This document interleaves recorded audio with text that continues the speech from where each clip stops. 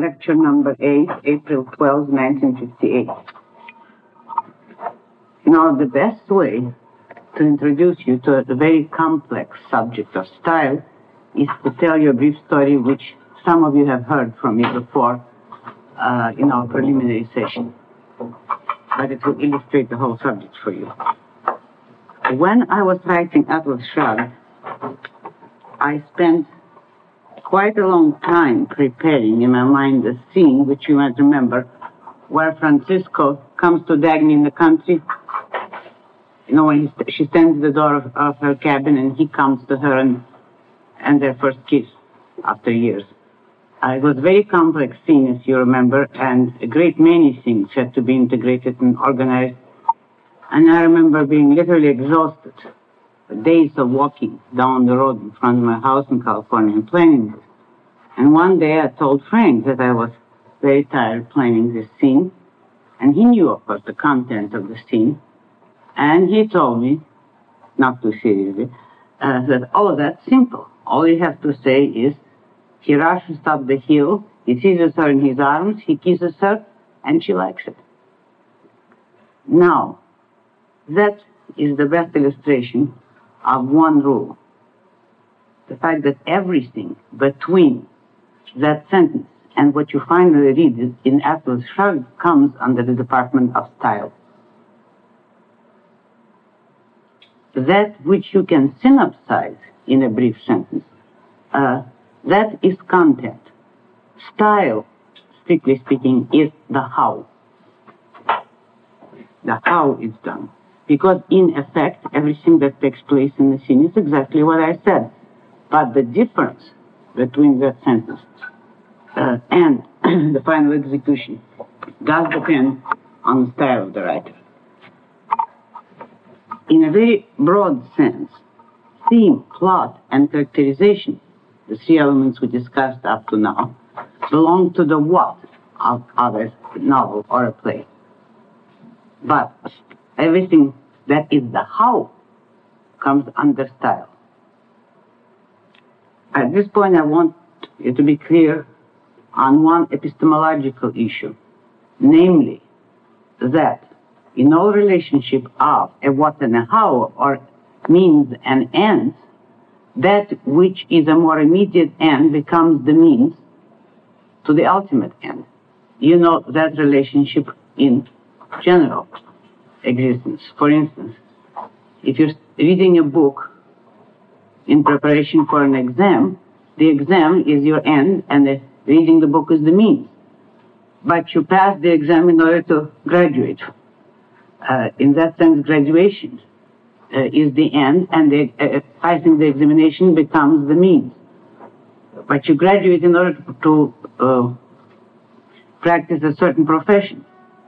So from that aspect, the graduation becomes the means and the profession becomes the end and so forth. So that in relation to writing, you can say that every step is an end and a means to the further end. The wider element of, of any book, of course, is the theme. And you can say that the plot is the means to express the theme. Characterization and plot are extremely interwoven. You can regard them uh, interchangeably. Either the story is the, uh, the end and characters the means, or the characters the end and the story the means, uh, because you can't separate one from the other. That is, you can't create proper characterization except through the actions and events. And you can't uh, present the proper story without proper characters. So that that is interchangeable in the sense of them uh, interacting. They're both mutual means and ends, characterization and story. But now these three elements, theme, plot, and characterization, can be synopsized. They can be shortened, and the essence can be presented in a synopsis, just in the way that I illustrated in a story. But style is that which cannot be synopsized. Uh, you know, very often you have heard and probably have said yourself that some play or some story is not much, but it's the way it's done. When that remark is warranted legitimately, that is an issue of where the plot or message might be slight, but uh, the style unusual or very good. Now, uh, in relation to style itself, I don't know of any official definition, but the trouble is that in all literary courses and in aesthetics generally, there are no firm definitions of anything. It's practically non-A realm on principle. It's supposed to be the realm of mystics, and therefore I don't know of any firm or official definitions, only approximations. But although people vaguely agree on what is plot or what is theme and characterization, I don't know of anyone that ever said anything sensible as on style, at least not to my knowledge. I must admit that I'm not a very wide reader of literary aesthetics. Uh, however, everything that I'll say about style here is my own definitions. Uh, I divide the issue of style primarily into two broad categories. One is the content uh, of what you select to include in order to project a certain issue. The other is the way in which you use words. What I mean by selection of content, well, for instance, take again the example of the Dagny Francisco scene. What you really had to present is exactly that synopsis sentence of Frank's. But now, what kind of elements will you decide to include in order to describe how he rushes up the hill, or how he seizes her in his arms, or what she feels. By what means are you going uh, to convey that? Are you going to describe the scenery? Are you going to show dialogue? Are you going to describe their feelings or thoughts? What you select to include in order to present a certain scene is what I call selection of content.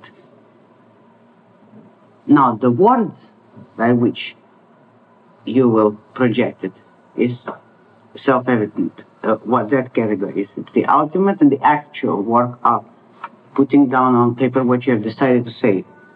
And in the order and selection of words, you will see, as we study examples, the most, the widest most startling variations. There are many ways of doing it as there are many. Uh, more than your fingerprints.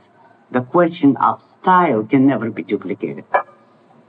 Uh, that is, no matter how many people share the same philosophy, no one is going to be imitative of another person's style by necessity. I mean, there are bad writers who just copy. Uh, but in the issue of creating an authentic style, there are so many possibilities in language and in all the complex issues involved in the book that you never have to worry about uh, not achieving an individual style. You'll achieve it, but you'll achieve it to the degree to which you do not aim at it consciously. I had mentioned this before, and in any other context, by, but mine it might sound like mysticism, but I think by now you know what I mean by that. I simply mean that the issue here is so complex, and uh, the early students here have heard me do that one night, remember, during the question period, which the others of you have not heard because it wasn't recorded, when we analyzed just one paragraph out of Atlas Shrugged. And we discussed why words had been selected that way, what would have happened if we had changed them, etc.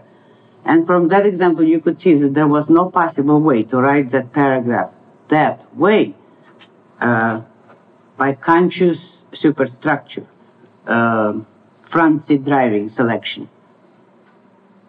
I had to write by means of the kind of premises about philosophy, literature, and everything involved that had already become automatic to me. And so when I write it, this is the way I wrote it. I could later account to you and to myself why I wrote it that way. But I could not have composed it uh, to begin with with no premises set and simply by superstructure calculation of how do I want to present a certain kind of issue or paragraph. I said in our preliminary stations, if you remember, that uh, in regard to style, form follows function. Uh, in other words, what determines your style is your purpose. both in the whole book and in each particular paragraph or sentence. But when you consider how many issues have to go into even the simplest story, you will realize that there's no way to figure out the function and the form consciously. For what you really have to do is set your literary premises, work on those, and that write unself-consciously.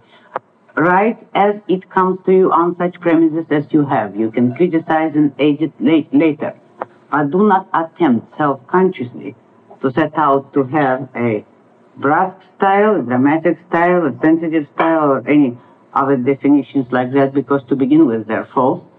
No such lines can be drawn. And above all, never try to imitate anyone else's style. You've probably heard that there are such schools of writing or series of writing which ask young students, I've heard of it even university assignments, to write stories in the style of certain writers. They'll give you an assignment of write one like Sinclair Lewis and another one like Thomas Mann, etc., another one like a stream of consciousness. Well, there could be nothing deadlier than that. You might turn out into good hacks if you practice it, but that would be one sure way of never acquiring a style of your own. Because the style is actually the combination of all your purposes and premises, and not only of your literary ones, because your literary premises, as have, we have observed time and again, will come from your philosophical premises. You cannot borrow another man's soul, and you cannot borrow his style. All you can do is uh, be a cheap imitator. And an imitator is never as good as the original. Uh, the only way to develop a style is to write as purposefully and as clearly as you can on your own premises. And your style will develop with practice. Uh, after everything that I've told you about plot, uh, characterization, and the, way in which even these issues cannot be settled fully by conscious calculation, but have to be, uh, have to depend on the premises you have already stored in your subconscious, the premises that have become automatic, uh, you will remember the explanations. I don't have to explain that to you again. But in style, that issue applies above every, uh, above everything else. Style is so much more complex than either plot or characterization that here, more than anywhere else, you will just have to learn to trust your subconscious and if it doesn't work for you, then you'll have to do more thinking and uh, learn more premises to make them automatic. That is, if you feel after some years of work that your way of expression is not really right, or that it doesn't express what you want.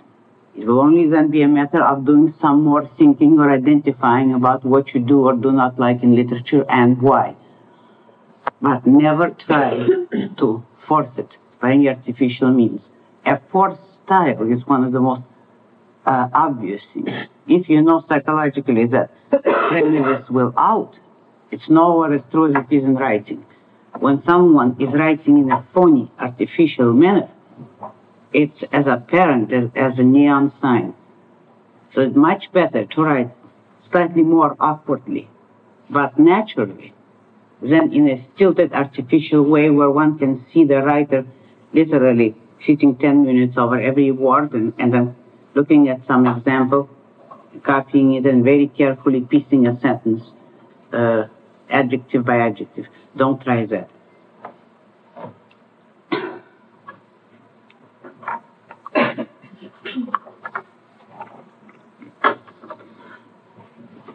Now, uh, we will be taking uh, separately the issues of the selection of content and of the use of words. But as you will see from the samples we'll be examining today, they're so closely interrelated that they can be identified only or uh, separated only for purposes of identification so that you'll know which is which, but you'll see to what extent they're interdependent. Now, another division, or in fact cross division, because all the departments of the issue of style uh, cross-file in a certain sense. Another division is the issue of narrative versus dialogue. Well, those terms don't have to be uh, defined. I mean, this is fairly obvious. Narrative is everything which is not dialogue and vice versa. And dialogue is that which is, represents the actual words of the characters in the story, that which is put in quotation marks.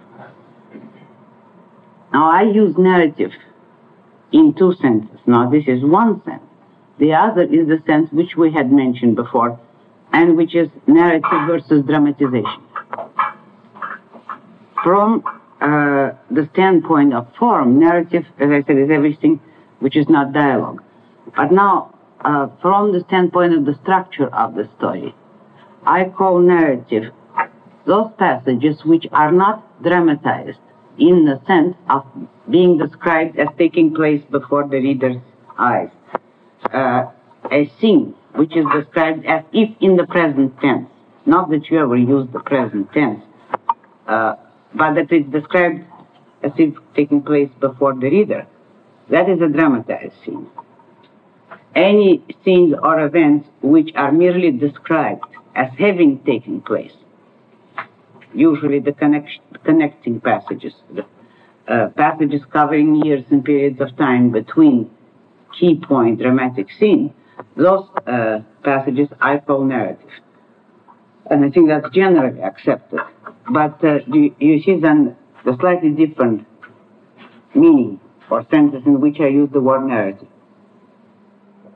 In a dramatized scene, whenever you say he said, or uh, he said in a trembling voice, etc., or any paragraph interrupting the dialogue, all that is narrative. Everything which is not said by the characters is said by the author, and therefore everything said by the author is narrative. But in the other, in the structural sense, narrative is any scene or event which is not dramatized before you. Dramatization is that which takes place right in front of you. And incidentally, just as an aside, uh, the, the, usually, whenever you use dialogue, uh, that pertains to dramatized scene, but as you know, there are exceptions. For instance, you can use narrative and introduce in it the quotation of just one sentence said in some conversation which you report in a synopsized form. That is a perfectly legitimate method, and it's usually done to feature the essence of the conversation or to show more sharply some salient stressed point uh, where you quote just one, perhaps sometimes two uh, lines of narrative, of dialogue in a narrative. But that, uh, when you do that, that does not make the narrative passage a dramatization. That is merely using a quotation for emphasis. When you have a whole exchange of dialogue, like at least four or more lines back and forth, that constitutes then the dram dramatized scene. Now, there are also a lot of miscellaneous elements, uh, such as exposition, flashbacks, transitions, metaphors, use of slang, use of foreign words, etc., or any other questions that might occur to you of a purely technical nature, which we can take up at the end of the issue of style. There's kind of a whole collection of miscellaneous issues, all of which are issues of method, of the how. And uh, those we'll discuss incidentally. But the main thing that uh, I want to discuss with you in relation to style is that first division on which uh, all the lesser ones will depend. That is the issue of selection of the content of what you present and uh, your use of words.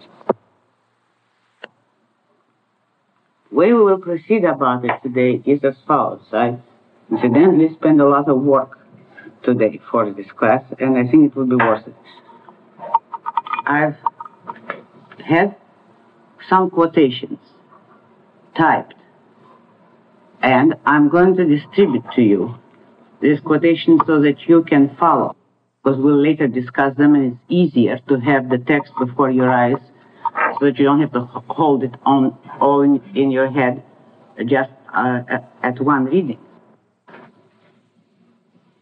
Now, there are quotations which I considered stylistically typical, and they fall in, into three groups. The first and longest one uh, group, there are quotations from six different writers, is the subject of love. Now, I selected, as you see, subjects which could be found in uh, most authors, so that by selecting approximately the same theme, or at least in a general way the same theme, you would be able to see more clearly the difference of approach to the same subject in many writers.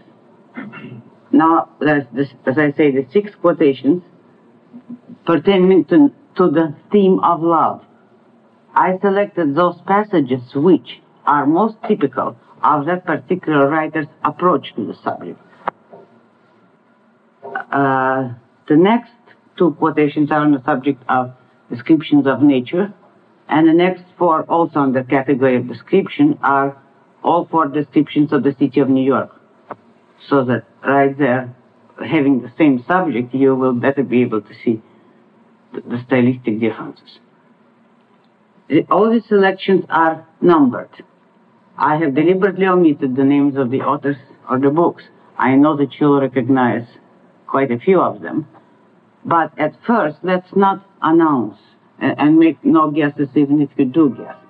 I would like at first to let them be anonymous so that for those who don't know some of them, uh, let's discuss them for what they're worth objectively without prejudice about anything we might know of the same author.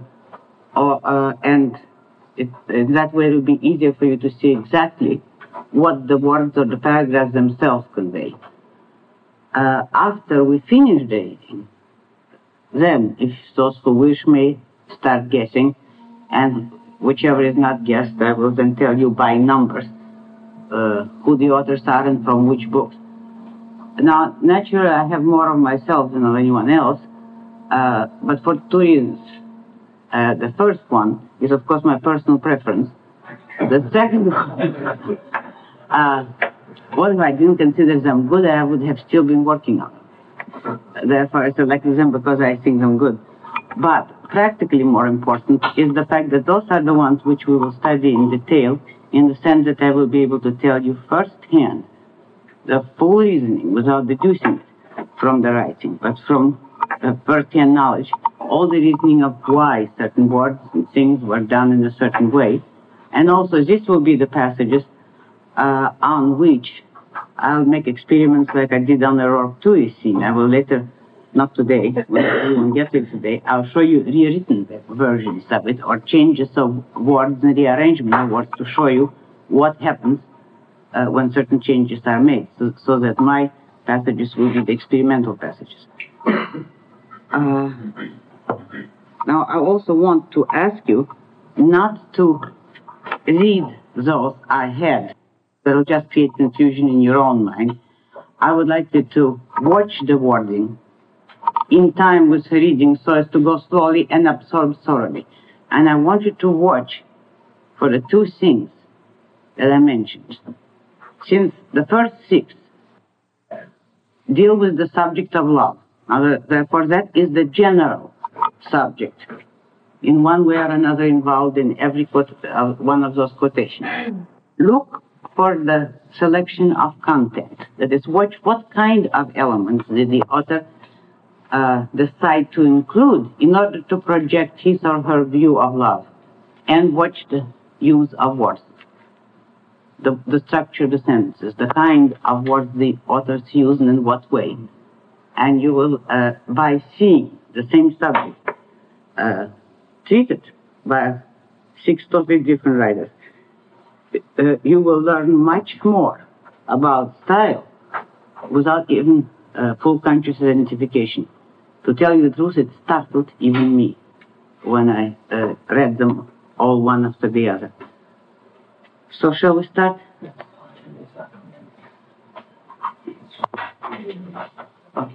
Ladies and gentlemen, we will not make any explanation as to what precedes the excerpt, since they are all out of novels they are all out of context, but self-explanatory as far as it goes, and that uh, your purpose here is not to know the rest of the story, but to see what and how much is conveyed by the excerpts as they stand.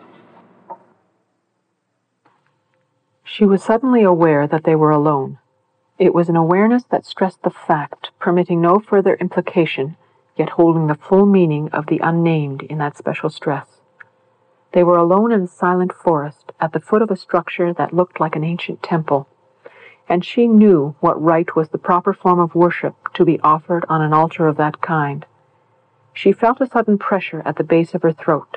Her head leaned back a little, no more than to feel the faint shift of a current against her hair, but it was as if she was lying in space against the wind, conscious of nothing but his legs and the shape of his mouth. He stood watching her, his face still, but for the faint movement of his eyelids drawing narrow as if against too strong a light. It was like the beat of three instants. This was the first, and in the next she felt a stab of ferocious triumph at the knowledge that his effort and his struggle were harder to endure than hers, and then he moved his eyes and raised his head to look at the inscription on the temple. The next is a different excerpt from the same work. She collapsed face down on the bed. It was not the mere fact of physical exhaustion. It was the sudden monomania of a sensation too complete to endure. While the strength of her body was gone, while her mind had lost the faculty of consciousness, a single emotion drew on her remnants of energy, of understanding, of judgment, of control, leaving her nothing to resist it with or to direct it, making her unable to desire, only to feel reducing her to a mere sensation, a static sensation without start or goal. She kept seeing his figure in her mind, his figure as he had stood at the door of the structure. She felt nothing else, no wish, no hope, no estimate of her feeling, no name for it, no relation to herself. There was no entity such as herself. She was not a person, only a function, the function of seeing him, and the sight was its own meaning and purpose with no further end to reach. And now, quotation number two. This is from a different author. From that day on, there was in me a man whom I did not know. I tried to use all my remedies the cloister, the altar, the work, the books. Folly. Oh, science rings so hollow when one beats against it in despair, a head full of passion. Do you know, young girl, what I always saw henceforth between the book and me? You, your shadow, the image of the luminous apparition that had once moved across the space before me. But that image did not have the same color any longer. It was somber, ominous, dark like the black circle that pursues for a long time the sight of the reckless one who has looked fixedly at the sun. Unable to get rid of it, always hearing your song humming in my head, always seeing your feet dancing on my prayer book, always feeling at night in dreams your shape slipping against my flesh.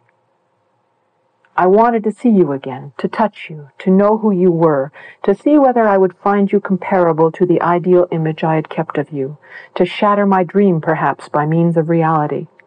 In any case, I hoped that a new impression would efface the first, and the first would become unbearable to me. I sought you, I saw you again. Disaster. When I had seen you twice, I wished to see you a thousand times. I wished to see you always. Then how can one stop on that steep descent into hell? Then I did not belong to myself any longer. The other end of the string that the devil had attached to my wings, he had tied it to your foot. I became a vagrant like you. I waited for you in doorways. I looked for you on street corners. I watched you from the top of my tower. Each evening I returned to my cell, more charmed, more desperate, more bewitched, more lost. Oh, young girl, have pity on me. You believe that you are unhappy. Alas, alas, you do not know what unhappiness is. Oh, to love a woman, to be a priest, to be hated, to love her with all the fury of one's soul, to feel that for the least of her smiles one would give one's blood one's guts, one's character, one's salvation, immortality and eternity, this life and the next. To regret that one is not king, genius, emperor, archangel, God, that one might place a greater slave under her feet. To embrace her night and day with one's dreams and with one's thoughts, and to see her enamored of a soldier's uniform, and to have nothing to offer her but the squalid cassock of a priest that will arouse her fear and her disgust. Do you know what it's like? That agony you are made to endure through the long nights? By your arteries that boil, by your heart that bursts, by your head that splits, by your teeth that bite your hands, by those relentless tortures that keep turning you without respite as upon a red hot gridiron, upon a thought of love, of jealousy, and of despair. Young girl, mercy, relax for a moment. Toss a few ashes on that flame. Child, torture me with one hand, but caress me with the other. Have pity, young girl, have pity on me.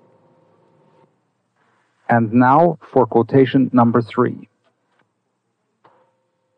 Ah, strange and beautiful, the woman thought.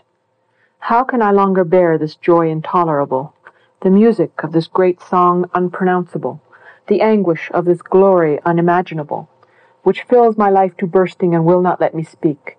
It is too hard and not to be endured. To feel the great vine welling in my heart, the wild, strange music swelling in my throat, the triumph of that final perfect song that aches forever there, just at the gateway of my utterance, and that has no tongue to speak. O magic moments that are so perfect, unknown, and inevitable. To stand here at this ship's great side, here at the huge last edge of evening and return, with this still wonder in my heart, and knowing only that somehow we are fulfilled of you, O time. Ah, secret and alone, she thought, how lean with hunger and how fierce with pride, and how burning with impossible desire he bends there at the rail of night. And he is wild and young and foolish and forsaken. And his eyes are starved, his soul is parched with thirst, his heart is famished with the hunger that cannot be fed. And he leans there on the rail and dreams great dreams. And he is made for love and has a thirst for glory. And he is so cruelly mistaken, and is so right. Ah, see, she thought, how that wild light flames there upon his brow. How bright, how burning, and how beautiful. Oh, passionate and proud, how like the wild lost soul of youth you are. How like my wild lost father who will not return. He turned and saw her then, and so finding her was lost, and so losing self was found, and so seeing her saw for a fading moment only the pleasant image of the woman that perhaps she was and that life saw. He never knew. He only knew that from that moment his spirit was impaled upon the knife of love. From that moment on he never was again to lose her utterly, never to wholly repossess unto himself the lonely, wild integrity of youth which had been his. At that instant of their meeting, that proud inviolability of youth was broken, not to be restored. At that moment of their meeting, she got into his life by some dark magic, and before he knew it, he had her beating in the pulses of his blood. Somehow thereafter, how he never knew, to steal into the conduits of his heart and to inhabit the lone, inviolable tenement of his one life. So like love's great thief, to steal through all the attics of his soul and to become a part of all he did and said and was through this invasion so to touch all loveliness that he might touch, through this strange and subtle stealth of love, henceforth to share all that he might feel or make or dream, until there was for him no beauty that she did not share, no music that did not have her being in it, no horror, madness, hatred, sickness of the soul, or grief unutterable that was not somehow consonant to her single image and her million forms. And no final freedom and release, brought through the incalculable expenditure of blood and anguish and despair that would not bear upon its brow forever the deep scar, upon its sinews the old mangling chains of love. Next, we'll have quotation number four. Sound of mating birds, sound of spring blossoms dropping in the tranquil air, the bark of sleepy dogs at midnight. Who's to set them down and make them anything but hackneyed, and as natural, as conventional, as youthfully gauche, as eternally beautiful and authentic as those ancient sounds was the talk of Martin and Leora in that passionate half hour when each found in the other a part of his own self, always vaguely missed, discovered now with astonished joy. They rattled like hero and heroine of a sticky tale, like sweatshop operatives, like bouncing rustics, like prince and princess. Their words were silly and inconsequential, heard one by one, yet taken together they were as wise and important as the tides or the sounding wind. And now, quotation number five. They went into his room and took off their clothes, smiling at each other and without self consciousness. Johnny was undressed first, and he lay down on the bed, his hands behind his head, watching her. Shireen turned, stepped out of her petticoat, and faced him. Her eyes had turned dark, and her face lapsed into sudden, serious intensity, as if she wondered how he would find her but also as if she had lost Shireen Delaney and came toward him only as a woman, a part of time and every woman who ever lived. She sat beside him on the bed, leaning forward, one hand lifting and moving to touch his hair. He reached out and took hold of her, and all at once he grinned. Chocolate cake with peppermint frosting, that's you. His hands touched her breasts lightly. You're all the flavors wrapped up in one package. Shireen gave a sudden, triumphant, ringing laugh, and he pulled her down against him. And now, quotation number six. In Recollections Light, first to be noted was the plain fact that by standards of what was later learned, the feelings affording a young man his state of love, of being in love, were largely factious. This was not by any means to say that they are false or pretended, but still they had not, as the young man himself was likely to imagine, arisen spontaneously. In theory, the feelings resulted when love magically and mysteriously seized on him. In theory, that was what love did. In practice, love did nothing of the kind. He, the truth usually was, seized on love. A young man heard and read of a thing called love, Love was praised everywhere as pure, noble, and beautiful. Love did have to do with the commerce between the sexes, but love as described clearly could not have to do with sex. The physical urges of nature that he knew about, those had been denounced to him as evil and impure. The associates of what he joined in calling, even if he fairly frequently indulged in them, dirty jokes, dirty thoughts, dirty practices. What those were must be everything true love wasn't. Love knew them not. Love manifestly was out of this world. Love's high feelings, at once so exciting and so presentable, could moreover be had apparently by anyone. A young man would not be long in resolving to have some. The next is another quotation from the same work. To the rules of high mindedness, the flesh is imperfectly amenable. Kisses, however chaste, caresses, however decent, if the exchange of them is kept up, must have the flesh soon shaping to its natural end, projecting its actual objective. A discipline of mind was required. The witching hour was to be saved intact by a division of consciousness, one part excluding rigidly all that engaged the other part. Held separate, thoughts on the plane of moonlight and roses could proceed regardless of the lower animal, or at least they could so proceed to a point. Due to that blameless neglect of hopes, to call a halt, she, the fair, the chaste, the inexpressive she, had no need to call. And to her partner in Petting's reluctance to leave since he was free to remain, there had been awkward occasions when the animal, disregarded by the hour and teased too far, reacted of a sudden, put to the shilly-shally so long imposed its own unpreventable end.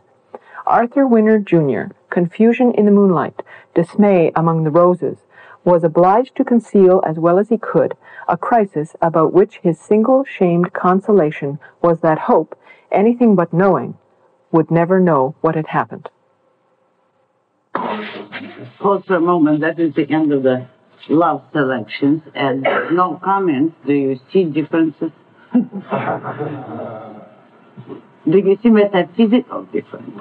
Do you see philosophy sticking out all over and directing every word of this? We'll take it up in further detail later. All right, now the next six are the scriptures. First, first two, the general description of nature, more or less, and the last four specifically of New York. She sat at the window of the train, her head thrown back, not moving, wishing she would never have to move again. The telegraph poles went racing past the window, but the train seemed lost in a void between a brown stretch of prairie and a solid spread of rusty graying clouds. The twilight was draining the sky without the wound of a sunset. It looked more like the fading of an anemic body in the process of exhausting its last drops of blood and light.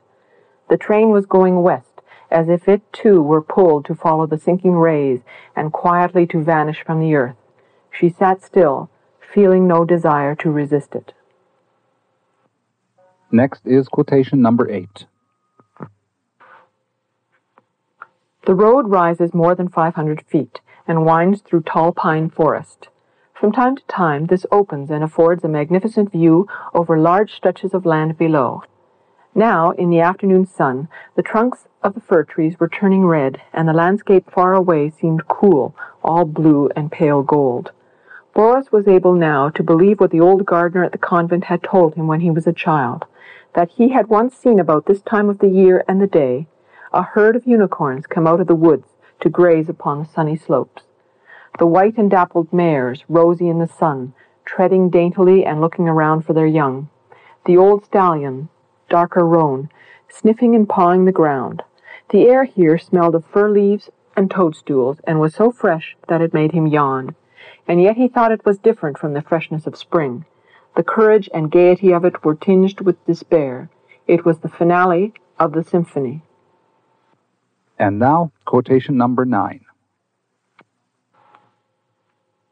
From the train, he looked back once at the skyline of the city as it flashed into sight and was held for some moments beyond the windows. The twilight had washed off the details of the buildings. They rose in thin shafts of a soft porcelain blue, a color not of real things but of evening and distance. They rose in bare outlines like empty molds waiting to be filled. The distance had flattened the city. The single shafts stood immeasurably tall, out of scale to the rest of the earth. They were of their own world, and they held up to the sky the statement of what man had conceived and made possible. They were empty molds, but man had come so far he could go farther. The city on the edge of the sky held a question and a promise. Quotation number 10. Clouds had wrapped the sky and had descended as fog to wrap the streets below as if the sky were engulfing the city. She could see the whole of Manhattan Island, a long triangular shape cutting into an invisible ocean. It looked like the prow of a sinking ship. A few tall buildings still rose above it like funnels, but the rest was disappearing under gray blue coils, going down slowly into vapor and space. This was how they had gone, she thought. Atlantis, the city that sank into the ocean, and all the other kingdoms that vanished, leaving the same legend in all the languages of men and the same longing. And now, the eleventh quote. Nobody ever walked across the bridge, not on a night like this. The rain was misty enough to be almost fog like, a cold gray curtain that separated me from the pale ovals of white that were faces, locked behind the steamed up windows of the cars that hissed by. Even the brilliance that was Manhattan by night was reduced to a few sleepy yellow lights off in the distance. Someplace over there I had left my car and started walking, burying my head in the collar of my raincoat with the night pulled in around me like a blanket. I walked and I smoked and I flicked the spent butts ahead of me and watched the march to the pavement and fizzle out with one last wink. If there was life behind the buildings on either side of me, I didn't notice it. The street was mine, all mine. They gave it to me gladly and wondered why I wanted it so nice and all alone. That hour, that moment, and that place struck with a peerless coincision upon the very heart of his own youth, the crest and zenith of his own desire. The city had never seemed as beautiful as it looked that night. For the first time he saw that New York was supreme among the cities of the world, the city of the night. There had been achieved here a loveliness that was astounding and incomparable, a kind of modern beauty inherent to its place and time that no other place nor time could match. He realized suddenly that the beauty of other cities of the night, of Paris spread below one from the Butte of Sacre Coeur in its vast mysterious blossoms of nocturnal radiance, of London with its smoky nimbus of fogged light, which was so peculiarly thrilling because it was so vast, so lost in the illimitable, had each its special quality so lovely and mysterious, but had yet produced no beauty that could equal this. The city blazed there in his vision in the frame of night and for the first time his vision phrased it as it had never done before. It was a cruel city, but it was a lovely one, a savage city, yet it had such tenderness. A bitter, harsh, and violent catacomb of stone and steel and tunneled rock, slashed savagely with light, and roaring, fighting a constant, ceaseless warfare of men and of machinery. And yet it was so sweetly and so delicately pulsed, as full of warmth of passion and of love as it was full of hate. Oh, this is what we will be analyzing for some time. Now, uh, does anyone want to make any guesses and then we'll proceed on the discussion? I'd like to ask a question. It's not a guess, but it's connected with what the chicken with. Is the second item about love translated? Yes. How did you know that? From, from there were many things in the style that made me think it was translated as sort of uh, incongruous use of words. Words like folly and enamored, along with words like guts and squalid. And um, if it was not translated, then this is very important. It seems to me the discussion of the style. But if it is, of course, it just means it's an inconsistent translation. Right. Very, very observant. Yes? I'd like to thank you exactly for the author of the second collection. I haven't read Victor Hugo, but from what I've heard about it, it sounds like it was Yes. Correct. Um, um, now, the first one, you know, that's Atlas Shrugged. Uh, the second one is Victor Hugo Notre Dame de Paris, mm-hmm. translated by yours truly. And here I want. no, no, quite proper. I wanted to uh, make an explanation about this. But uh, I have a Hugo in French and about translation, and I found that they omit whole sentences, change meanings, censor things that are too strong, and I was horrified to realize that those of you who don't read French have not really read Victor Hugo. That is, the general meaning is the same, but it's precisely the, the better kind of sentences and the more st- stronger ones that, that are either omitted because they were too hard to translate or translated by a bad approximation. Uh, so I did this myself today, and the words I got, I had to because, and I posed them. And you're very right that it's not in that style. The French word entraille uh, is not quite intestines in English.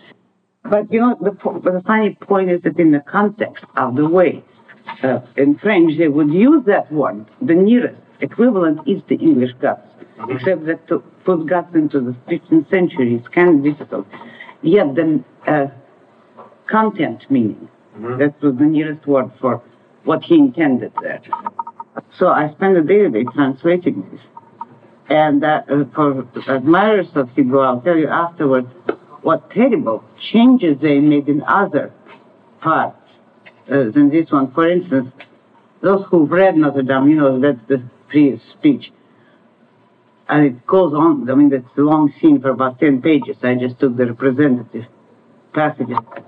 This just an illustration, this is totally an aside. There is a line in there, it's, a, it's the priest, you see, who is in love with a street dancer, gypsy girl. And he tells her, in the original, uh, you were so beautiful. That's describing his first impression of her. You were so beautiful that God would have preferred you to the Virgin and would have wanted to be born of you when he decided to become man, which is quite a good line, particularly coming from a medieval priest. In the modern library translation, they put it, you were so beautiful that you could be the mother of the graces. I think that is literally a crime. Uh, because they made it antiquity, you see, rather than religion, and, and wrecked the whole point and the whole force of it. Uh, now, and there's smaller changes of that kind. In a line where that's included here, where he says he wished he were king, emperor, etc., arch- archangel, and God to offer her a slave. They cut out God. Is that because of religious fear? Looks like religious censorship. It's a, it looks like an old translation. Doesn't say who translated it, but it looks 19th century translation. And uh, then there's a line about how at night he felt as if her, her form was sleeping against his flesh. In the American translation, at night I dreamed of you. so you see what they do to a writer. And since it was style, uh, I wanted to approximate as nearly as I could both his content and the intention, the equivalent in the word stress, uh, uh, as he would have done in French, as he did do it. It actually gave me the desire to translate his novels, uh, if I could only take the time, because it's a crime. So that when you, uh, read it in English, and I know that you'll feel an awful lot of bromide, don't be too sure that it's his. It's the translator's easy, lazy equivalent. All right, now the third one. I would guess on this one, I'm not sure, I can't judge from the content at all because I've never read it before, but the style is like the style of Thomas Wolfe. That's right. Right. That's Thomas Wolfe uh, of Time and the River. Uh, number four. Well, I think you all know that because the names are in it. Arrowsmith, Sinclair Lewis. Now, number five, I bet you you don't know. The title of this work is The Starveling, and it was written by Kathleen Winsor. And six, I think everybody guessed too. Just that. Well, of course, that's James Goldberg. Didn't you know that? Also, when, I never read it. I just read it. Oh. strange way of punctuating things, just like that. I didn't know how to use that. Impossible. He writes me. It's impossible. this is what that book is. The book is what? I had to, uh, if you, this is real obscenity if you see what it means. Yes. Yet I selected uh, the most uh, readable and the most respectable passages. Uh, there are passages that are literarily and particularly philosophically totally inexcusable, but they cannot be read in civilized society. Read literally. It's a four-letter words, and it's not only that, because, all right, you can accept four-letter words for what they are. It's the intention behind the passages is so obscene. I'm not even speaking of sex, so the sex passages, some of them there are unreadable. No, I'll just tell you in a brief way. Dealing philosophically, mind you, with bathroom functions.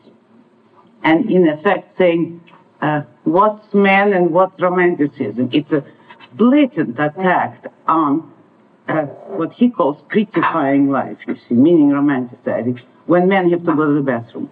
Only he didn't put it that elegantly. Uh, now, if, if we had read that passage, it would have to literally stop the re- re- rest of the lesson because you can't enter there into a literary discussion. But I'm just warning you, rush in and look it up if you have morbid curiosity, because it is ghastly. But these passages indicate to you what the nature of the gentleman is, if you remember that those are the most respectable. All right, now, seven you know, that, that was seven. Eight, does anyone know eight? That's Isak Dinesen's in Seven Gothic Tales. You would read. Nine is not Atlas Shrugged, but do you know it? the Fountainhead. That's right. Ten is Atlas Shrugged. Now eleven, who knows? Of those, of those who don't know. Mickey Spillane, that's right, one night, the very opening. Oh, oh. oh. And twelve? Let's go. That's Wolfe again. I guess, but you know, or, or did you? Yeah. Uh, Thomas Wolfe, The Web and the Rock. Who is that? Ten? Afghan Oswald. Now, what we will do uh, is start analyzing the essentials of the method, therefore the style of all these quotations. Uh, I don't think we'll get all the six on love today. We certainly won't go beyond that, but at least we'll cover a few. And I want, first of all, to tell you what we're going to look for. Primarily, what is accomplished in the quotation, and then by what means is it accomplished. First, we'll, uh, for each one of them, we will identify what is the what, and then the how. Uh, and uh, when we come to the later ones, uh, you'll see, as has been mentioned here already, that some of the authors contradict their obvious intention in, in what they have written.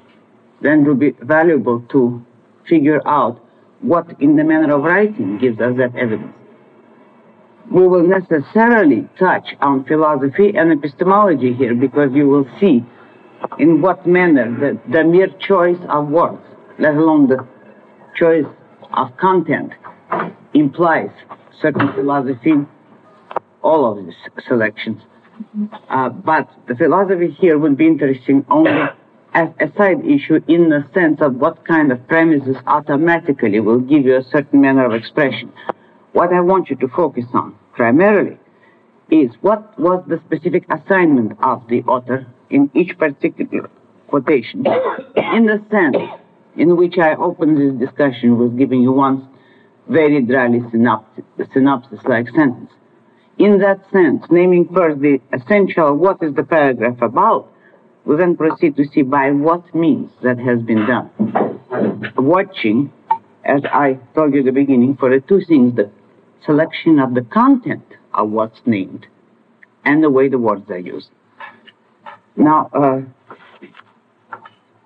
first, let's take my two quotations, which is the uh, quotation number one from Atlas Shrugged. Incidentally, the reason I included both of them is because to balance all the other quotations that we have here, I wanted to present, in effect, the essence of each author's attitude towards love and way of handling it. Uh, now, either one of these would have been too brief, but I selected those as mo- most representative of my manner. If you notice, most of the quotations, with the possible exception of Lewis, involve both love and sex. It would be very hard to separate it, but Lewis managed. Uh, uh, how, however, uh, focusing on love is more revealing because when writers begin to write about sex, sometimes it's uh, simply confusing. Uh, it will be harder to identify the style than on their approach to love. And in this particular subject, the value is that all of these writers deal with the same issue and that uh, it's not a matter of avoiding bromides or uh, being afraid of uh, censorship restrictions. Uh, as, for instance, about sex in the 19th century novels, it will be hard to tell what is the author's actual approach or what are the requirements of the time. Uh, now, let's uh, f- first of all observe that, in fact, in all the six quotations we have read, the purpose was each time of the author to present uh, love in a general sense, but most particularly the nature of the intensity of love. Uh, all the ones that I selected were concerned with that, with some violent or extreme presentation of that feeling. Now let's see how it's done. First of all, on my quotation, and taking it as a whole, that is, I long for the break, but taking it as two presentations of the psychology the feeling about of one woman about the same person, in fact, the same day. Do you get the overall impression that what is being presented here is a very violent, very strong love. Is there anyone who does not, and I now don't mean hold a gun at your head, you know, it's not a question of politeness or flattery. Is there anyone who did not get that impression? Because if you didn't, that would be an interesting question to discuss also technically and impersonally. Or would you all say, of your own first-hand judgment, being as objective as you can about the fact that the author speaking to you, did you get the impression that the feeling which Dagny projects here is a very violent, a very serious feeling? And if so, the first question stylistically to ask is by what means did I project? Now here, I would like to ask you questions, but I don't want an overall free discussion. Therefore, uh, whoever raises his hand first will be the only sp- spokesman. Uh, who would care to name the essential? Not every particular, but just the essential of the method.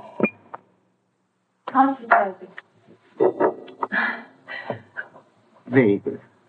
You know, you amaze me in a certain sense uh, about your stylistic sensitivity.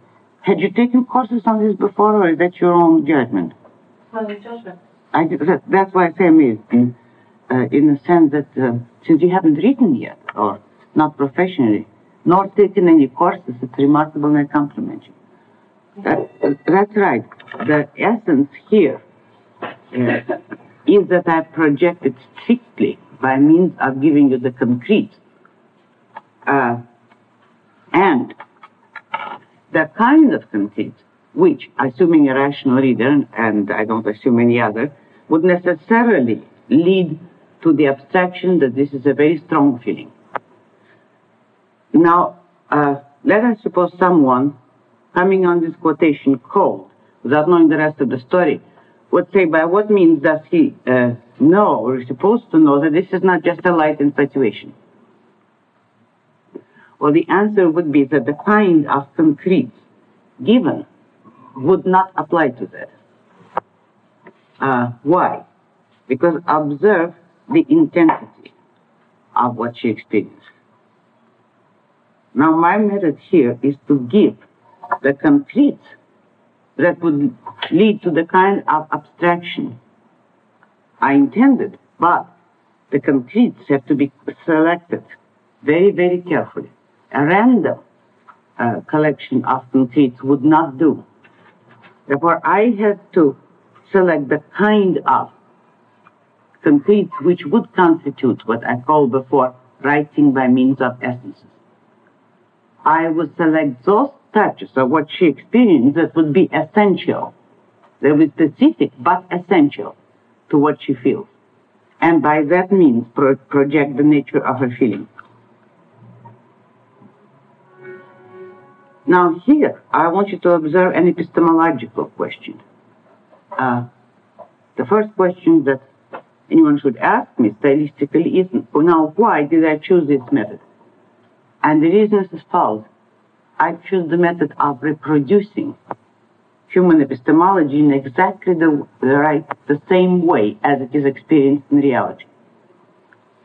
Uh, again, assuming certain kind of characters, such as Dagny, which would not be a, a, a woman who experienced vague, vague package deals without knowing what she experienced.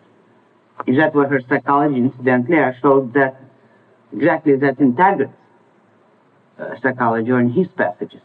But remembering Dagny's characterization, my method of approach to projecting this feeling would be in this moment when she's fully aware, when she focuses, in effect, for the first time that day on what she feels for Roark. Uh, I beg your pardon. Please strike it off the record, brother. Freudian slip. Uh, what she feels for both. Uh, she would not be thinking of her whole philosophy, or I am madly in love, or love is an important value, etc. One does not think of that. Uh, that is, I would try to project what would be the focus, the essence of the kind of an emotion of which she would be aware in that moment. And then I try to reproduce it. Incidentally, as an aside, uh, in regard to the naturalistic method, it may be quite possible that right in the moment, in this moment, uh, maybe a bird flew across the trees or a butterfly was fluttering somewhere. She might even possibly have been aware of it uh, on a marginal edge of her consciousness. But to include that would have been totally disastrous. Now, that would have been the method of including accidental details non-selectively. I had to focus only on the essential of the setting, if you notice, and the essential of what she felt. To project the full reality of that scene, I had to mention not merely what she feels, but also what is it that she feels in response to. It wasn't a sudden introspective emotion. She felt it in regard to looking at Galt in a certain place and time in a certain context. And observe that what I do is I give you the essence of the setting which creates the kind of mood that blends with her emotion.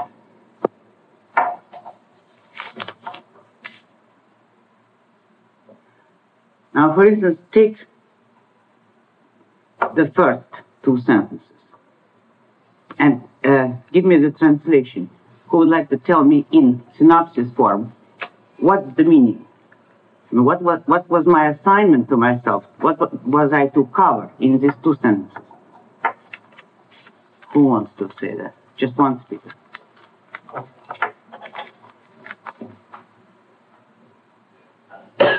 yes? Do you mean, do you want to make when the diamond girls are alone in the atmosphere of solitude? Uh, Something like that? no, what, uh, whichever you guess uh, to have been the, the essential assignment. Still? I would say was to set the physical setting, was that they were going towards the powerhouse and that she was tremendously physically aware of it. Uh, you're right. Uh, though the first is not quite right because this is after uh, they're standing in front of the powerhouse and that passage comes after she has uh, looked at the powerhouse and sort of its meaning and then she looks at him. But what is important here was the assignment. Suggest her sudden physical awareness. That this is the suggestion of sex.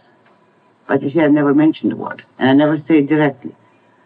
Uh, observe the means. All that she's conscious of is an, a stressed aware- awareness that permits no further implication, yet holds the full meaning uh, of their name in that special stress. Uh, that is the sudden sexual awareness, consciousness. Uh, and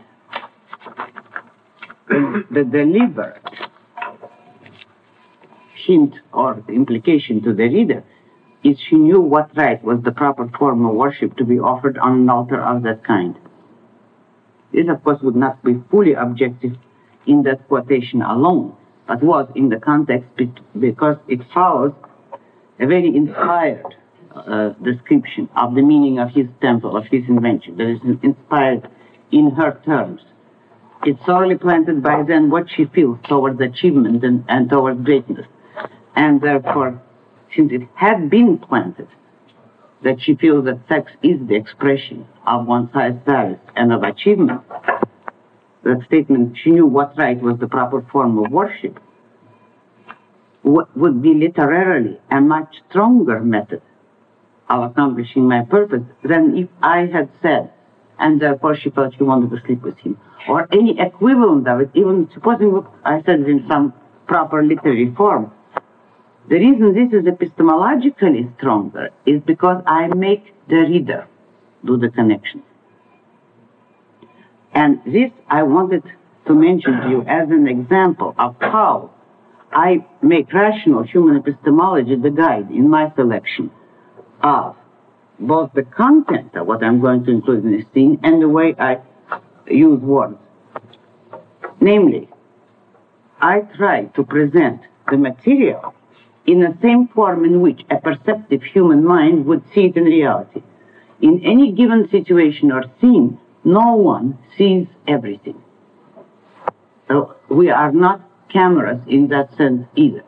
Uh, that is, we see that which has particular reason to interest us, or out of a complex uh, evidence, we will be focusing on that which our interests or our values require. Therefore, I try to present the essence of any scene because I substitute in that sense my selectivity for the readers. I leave him no room to fo- focus on anything else. I present the evidence in a kind of manner in which I want the reader to see. Uh, meaning, if you, reader, are to get something out of the realities that I present, I present those highlights, those essentials, which I want you to observe. By reading it, you will be observing reality the way I observe it. But you will be observing it according to the normal uh, human epistemology, which is to observe it from a certain viewpoint. Now, I hope this is not confusing. It, it, uh, it isn't forcing something non-objective on the reader. It is merely following this kind of principle. All projection, uh, all perception is selective. I will do the selectivity, and if I allow the reader to be aware only of this focus, undiluted, then by rational epistemology, he, his awareness will follow as if the material is actual reality. But it will follow from a certain value choice. He can then make up his mind on uh, what he thinks of these values, which is a different and private matter. But the material is, is handled as an epistemology will be handling uh, any evidence. Only the slant, the focus is selective. That is why this is objective and very highly slanted writing. And that is not a contradiction in terms. Slanted in the sense that I select the focus. And in that sense, that is the premise of any type of romantic writing. And I'm very consciously practicing it. And objective in the sense that I do not tell the reader what I want him to feel. And I do not narrate or tell him what I want him to see. I show it. I, in effect, say, I want you to see Dagny's great feeling. I'm giving you the essence of it. Now you, you can perceive it, judge accordingly. But I want your own mind to make all the connections. And it's in that sense that uh, I found it much stronger to remind the reader that in Dagny's mind, the sight of a great achievement would uh, lead to the sort of steps. I condensed into the line, she knew what rite was the proper form of worship to be offered on an altar of that kind. That is a way of saying uh, that she considers sex a high value, that, that she considers a, a, a sacred value, con, uh, which I invoke by means of the connotations of such a word as temple or altar or rite. this is deliberately selecting words which have a certain objective meaning, and the objective meaning is what? Connotation to religion or to high values.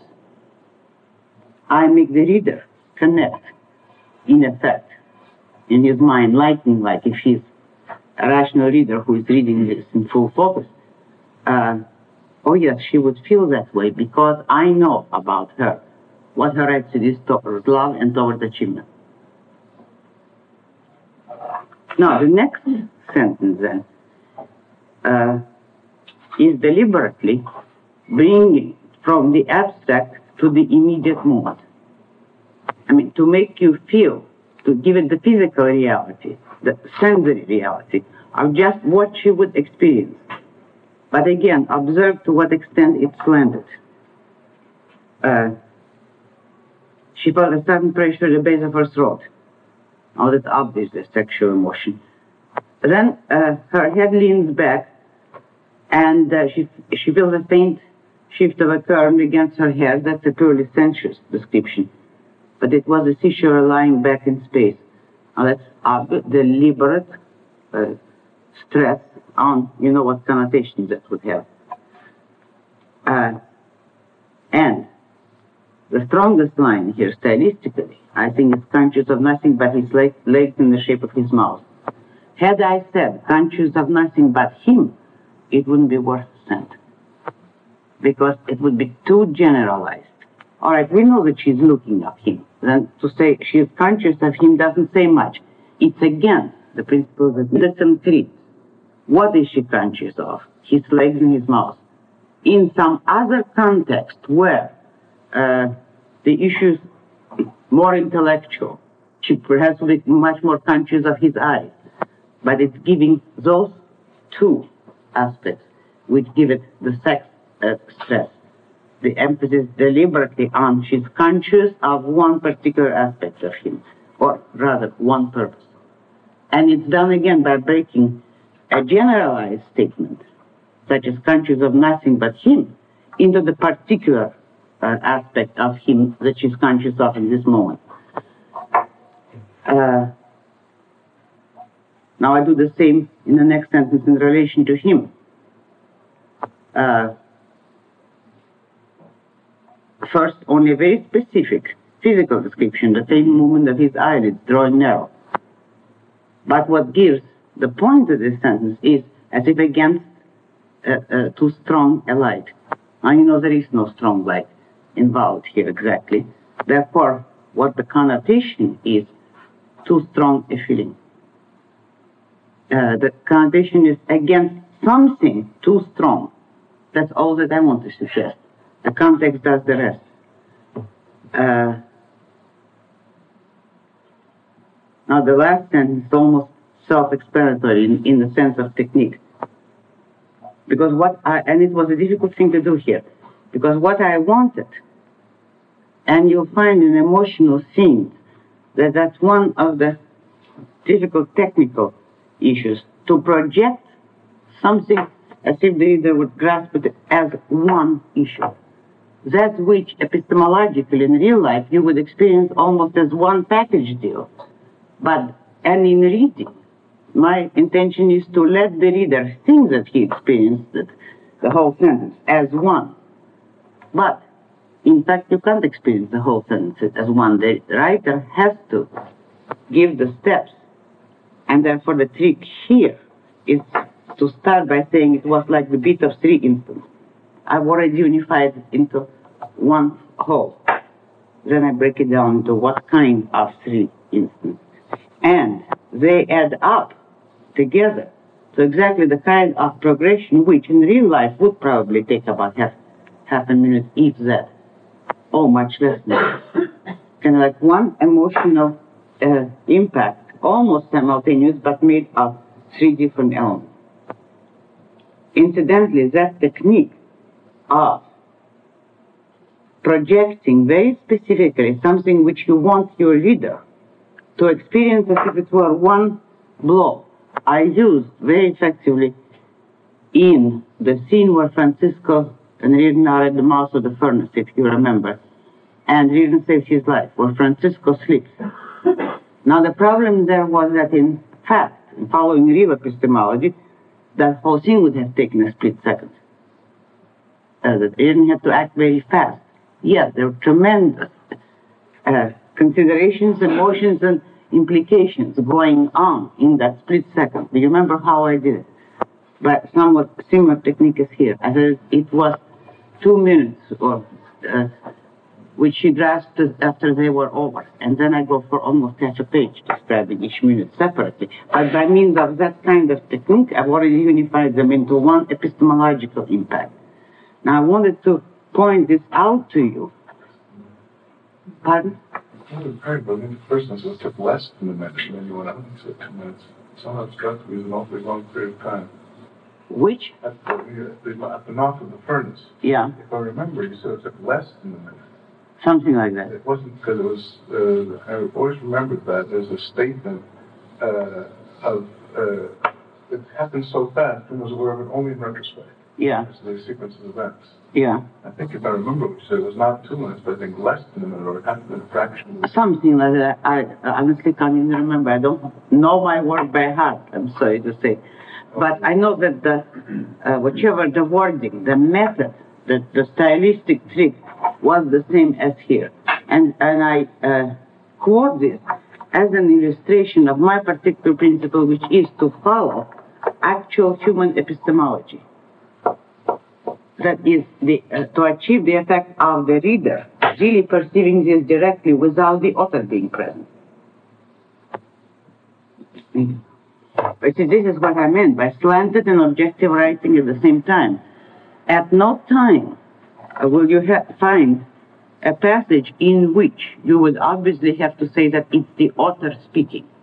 The author, in my style, is never speaking at all, and yet the author is pulling every string very consciously. What I mean by the author never speaking? In the sense that I never assert anything, I never tell, I show. Now, if I have some uh, unimportant connecting sentence, such as they walk toward the car, well, that is telling, uh, not showing. But then, by the mere fact of it being an unimportant sequence, there is nothing actually to show.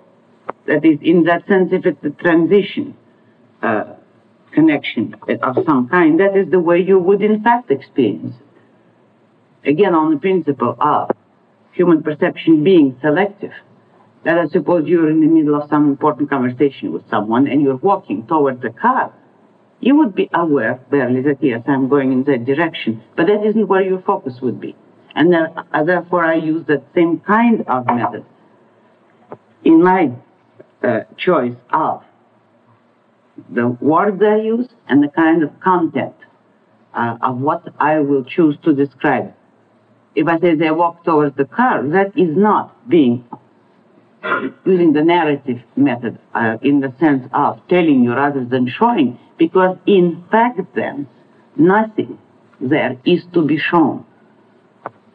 But uh, what I avoid and you'll see by contrast when we get to the other styles, uh, what this telling versus showing method really consists of. What I avoid is ever presenting you which, with something which needed the author's assertion for you to grasp, or something which was not presented to you as direct sensory evidence. Uh, here it is. Do you realize that you are given nothing but concrete, objective facts, but slanted in such a way that you will have only the impression that I intended you to have. Now, the same consideration applies to the second paragraph quoted. Now, here is one of the most difficult of all assignments, and you you'll see in the other writers the same problem. That is to present a violent emotion. A violent emotion, if it is violent, is experienced actually in this form, as you probably would all know by introspection. The more violent the emotion, the less you're able to identify what is it made of. You just feel it. It seems like an irreducible primary, which is incidentally one of the reasons why so many people are mistaken about the source of emotions. But it is experienced as if it's just one thing. I feel something violently and there are no words for it and it can't be broken down into anything. Now the assignment here was to break it down into the kind of concrete which Dagny would not really be thinking of, but which the reader will be summing up into a tremendous monomania, single emotion. Now observe that what I'm doing here is establishing it in effect or in part by means of negatives. I am telling you what it is that she did not have. Now, if I had said she felt nothing but uh, her emotion for the memory of uh, the, the site of Galt at the foot of the temple, that's just merely telling you. Now, why do I make it specific? By what means? By saying that uh, a single emotion drew on her remnants of energy, of understanding, of judgment, of control. I've concretized the kind of normal elements present in the consciousness, which she now is using. It's by concretizing that that I call attention to the fact that now it's a single, violent sensation, leaving her nothing to resist it with or to direct it. Again, I'm reminding you, normally, she would not be at the mercy of a single emotion, or at least she would know how to direct it. But Uh, now, all of this she hasn't got, and that gives you some idea what is it that she has got, what is the actual state of her consciousness. Now, another stylistic trick here, and this is the means by which I project that what she feels here is love. And why I selected this passage, it's more uh, love than sex, actually. Not that it's opposed to sex, but it's the essence of love. You see, if I had had her, after all these preparations, say that what was in her mind was the desire to kiss him or the desire to sleep with him, the realization that this is the man she loves, that would not have been as strong as telling you that she's reduced to nothing but seeing his figure in her mind, which is exactly the way it would be experienced. That is such a conclusion as I am in love with him or I want to marry him. Those are already abstractions. Those are thoughts. Those will be later results. The actual emotion would be experienced precisely in some such form, the extreme awareness of the other person, by making it almost platonic, in the sense that all she was able to experience is only that vision of him. That is what makes it the essence of falling in love. I see so many people smiling. Uh, uh, do I gather that it did make that impression on you? Go ahead. I can sum up my thing by saying that uh, daughter had I take it off to you. Thank you. I, I, from you, I appreciate it because uh, you're sensitive to those things. But why uh, I saw you not nodding with great pleased astonishment. May I just wonder psychologically? This is a complete revelation to me. I never thought of uh, the putting on the concrete as the person was first experience experiencing concrete and then experiencing thought. And when you put down the concrete, it is when the reader is thinking along with you, not when you just put down distractions and later. Oh, you mean that that had not occurred to you before as a method? No, not, not at all. This is. Uh, but tell me, are you were you aware of the fact that what I'm now describing is the overall, the summed up impression that you had of the Yes. of, of this paragraph, or am I wrong about that?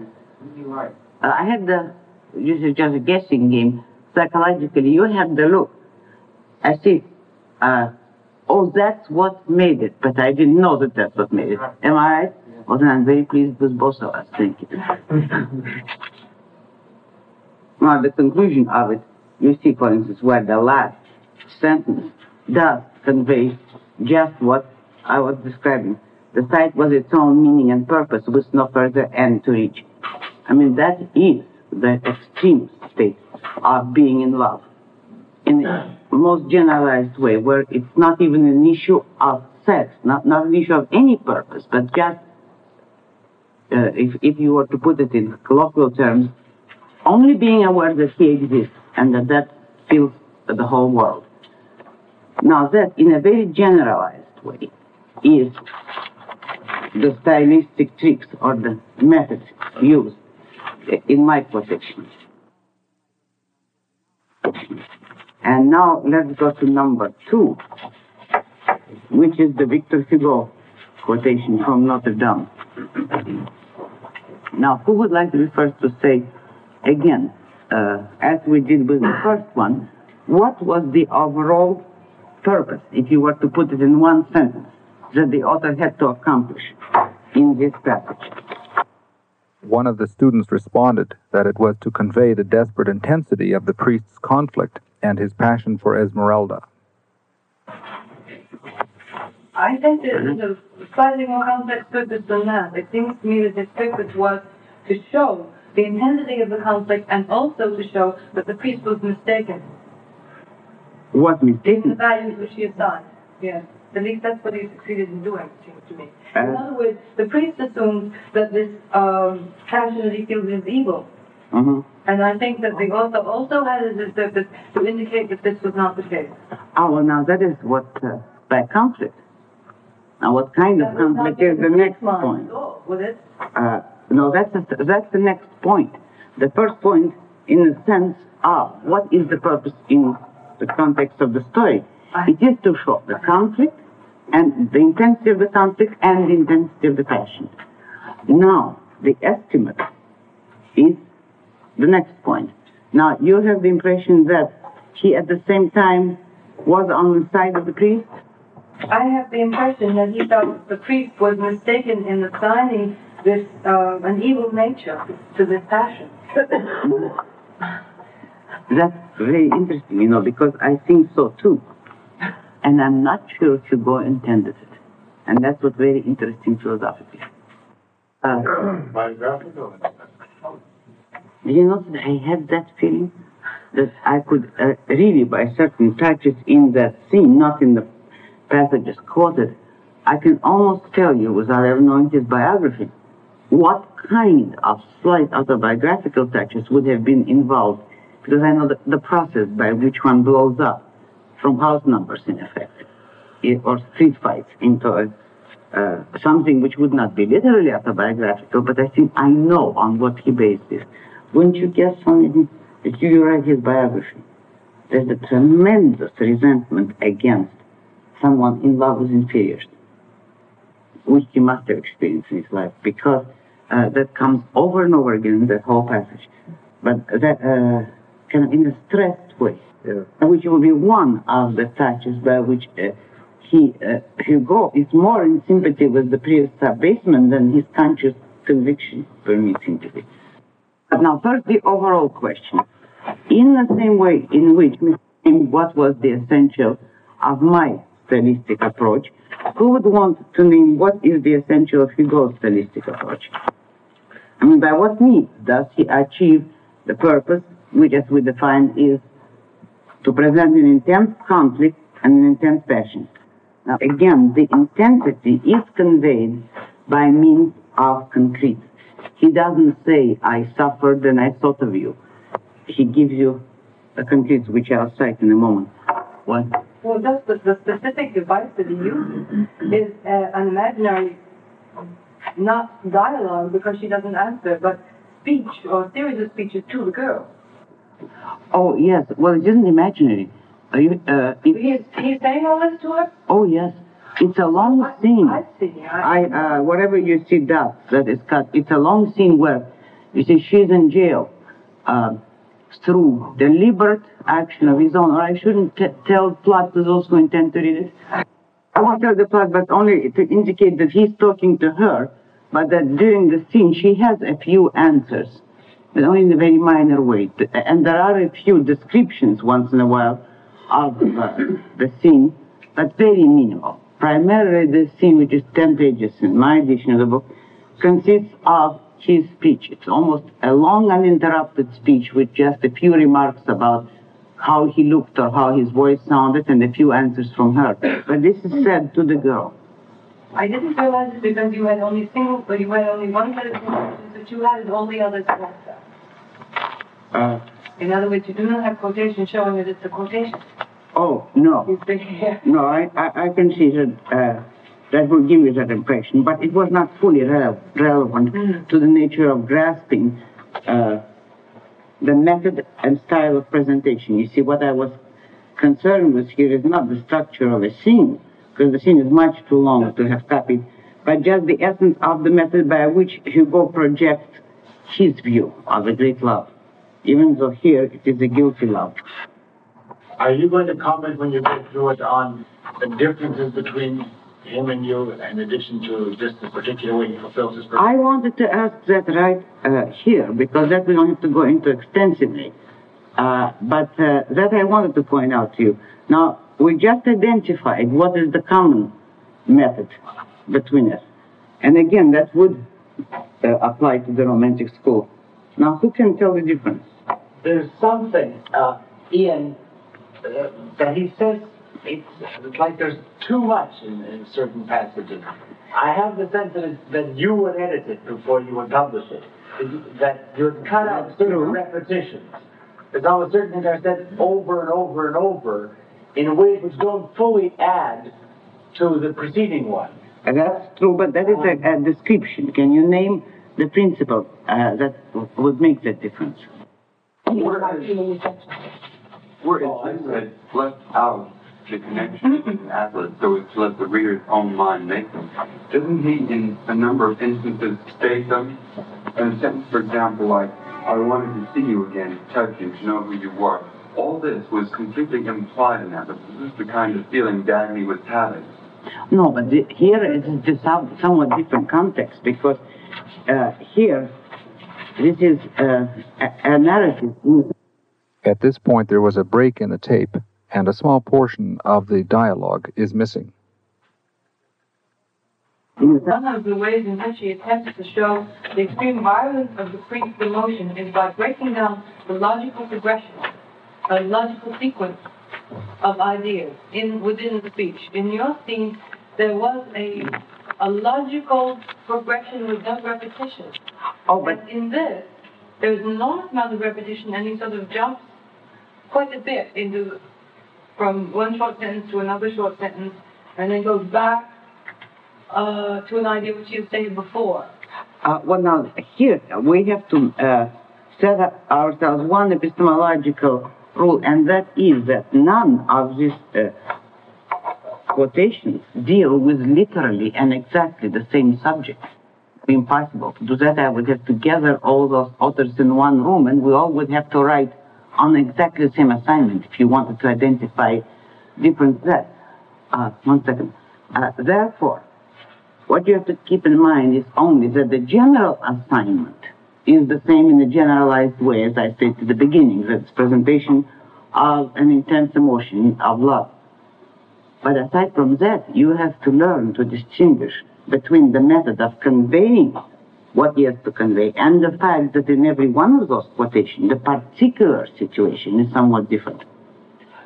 Therefore, when a, a, a priest who feels guilty of his love makes a confession about it to the girl, uh, necessarily the method would be somewhat different than when I project what Dagny feels in her own mind. So that here, the fact that he might repeat himself or go uh, break the logical sequence would not be a difference of method. What you have to look for is more abstract differences than that. I don't want a general discussion now, so uh, if you're not clear on it, to save us time, I will state to you and then show you where it shows what are certain differences in principle. But now let me uh, point out to you what one difference here, but he's somewhat more inclined to permit a certain amount of comment from the character himself and therefore the author uh, than I would have used. Uh, for instance, it, just in the stylistic method, when he says, uh, but that image did not have the same color any longer. It was somber, ominous, dark, like the black circle that pursues for a long time the sight of the reckless one who has looked fixedly at the sun. And that's as exact a translation of the French sentence as I could manage. And here is stylistically now the issue. It is that a man talking of a passion might use a metaphor if it expresses his feeling exactly, is possible and logical. But here, the priest is almost too literary in a way that he turns an elegant phrase that Hugo himself might, might have turned out in narrative, and that somewhat takes away from the reality of a man talking desperately and passionately and in a chaotic state. Uh, there is a certain kind of literary elegance, uh, which I would identify as a wider principle, a, a certain kind of tendency to narrate, even though beautifully, rather than stick to, to showing only by the means of the scene at hand. In that sense, Hugo's epistemology or view of human epistemology is somewhat less, less rationally realistic than mine. It is not fully as strictly rational in our sense of the word. That is, he is not as concerned with the fact of recreating reality as exactly as one can do it in words for you to perceive it and then uh, to get a slanted, a selected image in your mind. He interferes uh, with his own presentation very often, in, interferes in a sense which I said I don't, that is the author is apparent. Uh, and in narration uh, passages, it in his writing will be much more apparent than in dialogue passages, that he permits himself to editorialize almost to the point of, it's Hugo speaking, uh, And he incidentally comes across as the most fascinating kind of speaker.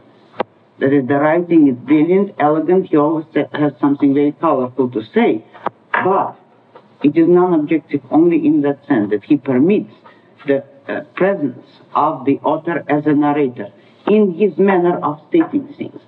Whereas I, I would never do that. That is one difference. Uh, the other difference, and that has to do with certain kind of repetition, which is beyond the necessity of the chaos and confusion that we discussed. The chaos repetition is, of course, very effective, but he does more than that, and, and this, incidentally, is a abridged version of what goes on for 10 pages.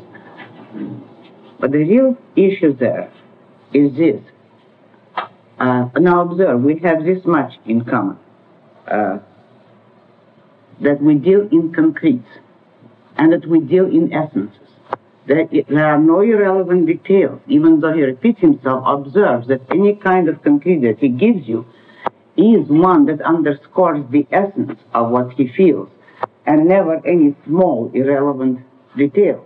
So in that sense, it's the same principle of writing. Which of the two manners of writing would you say is the more intellectual? Yours. That, I think, is the uh, most crucial difference. I didn't give you a long enough passage of mine on uh, the premise that you know Atlas and the Fountainhead so well that you can remember other passages uh, that will show, in effect, against this long passage, uh, the fact that I don't repeat myself except intentionally is the tighter rational discipline. Hugo writes much more emotionally and inspirationally. And by that, I don't mean the issue of whether he rewrites or edits himself. That, that would be irrelevant by what means it's achieved. But the fact is that his approach to, to style, his way of, of selecting, uh, consists of projecting above all the emotion involved. Now, it, uh, as a, a philosophical romanticist of the first order, he would know that you don't project emotions qua emotions, as you will see in the next selection. Uh, he doesn't know that they come from concrete, uh, they come from certain premises, and that is what he projects. But he is much less concerned with the intellectual meaning of the emotions projected and with the intellectual method of projecting them. Of the two styles, I was startled to see when I read them together, mine is much more masculine. If by masculine we mean a kind of a tight economy of intellectual content, where even if I write about violent emotion, I weigh every word for its direct meaning, for its connotations, for what it will add to the sentence. It's a much more controlled uh, idea of presentation, whereas as Hugo's is much freer. I'm not saying now which is better or worse. I'm only identifying an essential difference there. Yes? I have a confusion on one point. You, you say that you weigh every word and uh, make every point uh, put in context with there's a tight economy. Before you said that you one should write from one's premises, present premises, and you mean are you talking now about a second or third revision? Oh, th- thank you very much for calling that to my attention. That's kind of confusion I don't want to leave in your mind. Uh, no, I would say, I'll tell you exactly how this was written, for instance. Uh, that second paragraph of the quotation. It was written inspirationally. It was written as, as I advise you. It is right as you feel when you come to it. Then edit. But then when I edit, I would stop and consider every word. Is this an extraneous word or is it necessary? Why do I want to keep it in? In the case of this particular passage, it stayed in practically as first written. I went over it perhaps 10 times at different times just to consider it consciously, and very few changes were made. But now, the reason I could write it that way is because my, my premises were set to that kind of expression, so that my subconscious would not throw me very many extraneous things. However, there were other uh, passages in the book where my subconscious didn't function so well. And then it would mean 10 times of rewriting. Then it would mean weighing every word and it's extraneous and I have to take it out. I'll feel that the rhythm is wrong or that some kind of word was needed here to amend what preceded, but not the one I had, and then it would be just doing this, sitting over it, and I'll show you sometime my manuscript pages. I would never even uh, have one copied until I had made so many corrections on it that I can't even use that sheet of paper anymore. I wouldn't even copy it longhand so long as there's a space left on it because sometimes I would experiment with 10 different ways of saying a sentence right on the same piece of paper. Now that is where my subconscious would not function too well. But even at that, the reason why I would experiment that way is that I won't compose it word for word. Because by superstructure effort, it's not possible. All I can do is try and write it, then wait. Then ask yourself, sounds right? Why is it right? If I can give the answer, it stays. If it's not quite right, why isn't it? If I can grasp why it isn't, then, uh, then I rewrite it on a new premise. Sometimes I can't quite grasp why it's not right, but it's a very complex issue. It just doesn't sound right. And then you, uh, I just start trying in different ways until I suddenly see yes, this is what was missing and was needed. It's not always easy. But uh, the point is that you train your subconscious to be as economical and as purposeful as possible, and then you help it by editing, by consciously weighing the result of filtering. Is it clear? Now you see, Hugo would not necessarily have to do it because obvious through all of his writing is the premise that uh, he does not regard writing that way. He does not regard necessarily that you have to work for a kind of philosophical, epistemological precision. Uh, it, I think in painting it would almost be as if his strokes are much wider and more impressionistic. Impressionistic, uh, Marianne in the colloquial sense of the word, not the exact school of art. Uh, you know what I mean by that, kind of wider strokes, where mine would be wide, but at the same time, I would be working, it's only a metaphor, that if anyone wanted to approach my brush strokes with a microscope, they'll see that every strand there was purposefully put there. Hugo would not look at it quite so minutely. And that's uh, offhand. I would not undertake to tell you uh, which method is better. I would say this, that it's a metaphysical issue. In the context of his philosophy, of his kind of idea, remembering that he is, in fact, superstructure-wise on the Christian altruist code of values and sub-basement-wise not at all on it. I think that would be one of the reasons why he would not look for extreme rational precision. That would not be part of his view of life and therefore not of writing. But then granting him his values and his premises, his method was right for his philosophy and my method was right for mine, which I think is one of the examples of where one's general view of life and therefore one's of values will show in one's writing. Now, let's come to the details of this. Sure. I noticed in reading Hugo eh, that every once in a while there's a word or a phrase that is emotionally jarring with the rest of what he's trying to communicate.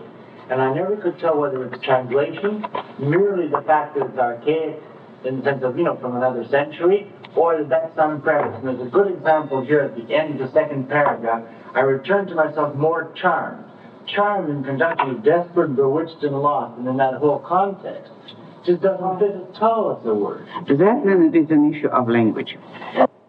Now, that is not uh, actually what the author said, but neither is it charmed in the colloquial American way. Yeah, that makes sense. No, they, That, that would, Huh? Very close to but he also had bewitched.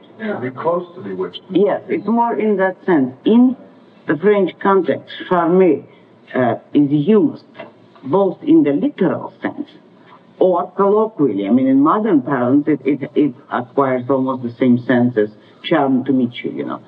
But uh, in literary context, that word in French is not shopworn yet. The original meaning and the power of being charmed in the sense of spellbound or bewitched. Pardon? So that would not then in general indicate any uh, premise of that kind that would be No. translation. No. And for instance, the French t- translation trick, for instance, the last uh, word here. Now, it says more lost. Uh, that is the exact word in French, but it has a connotation much more to the damnation of a soul than the English word lost. And I, perdu is the word. Plus perdu. But uh, in one translation of the two I just looked at today, it said nearer to perdition, and in the other one it said something like, uh,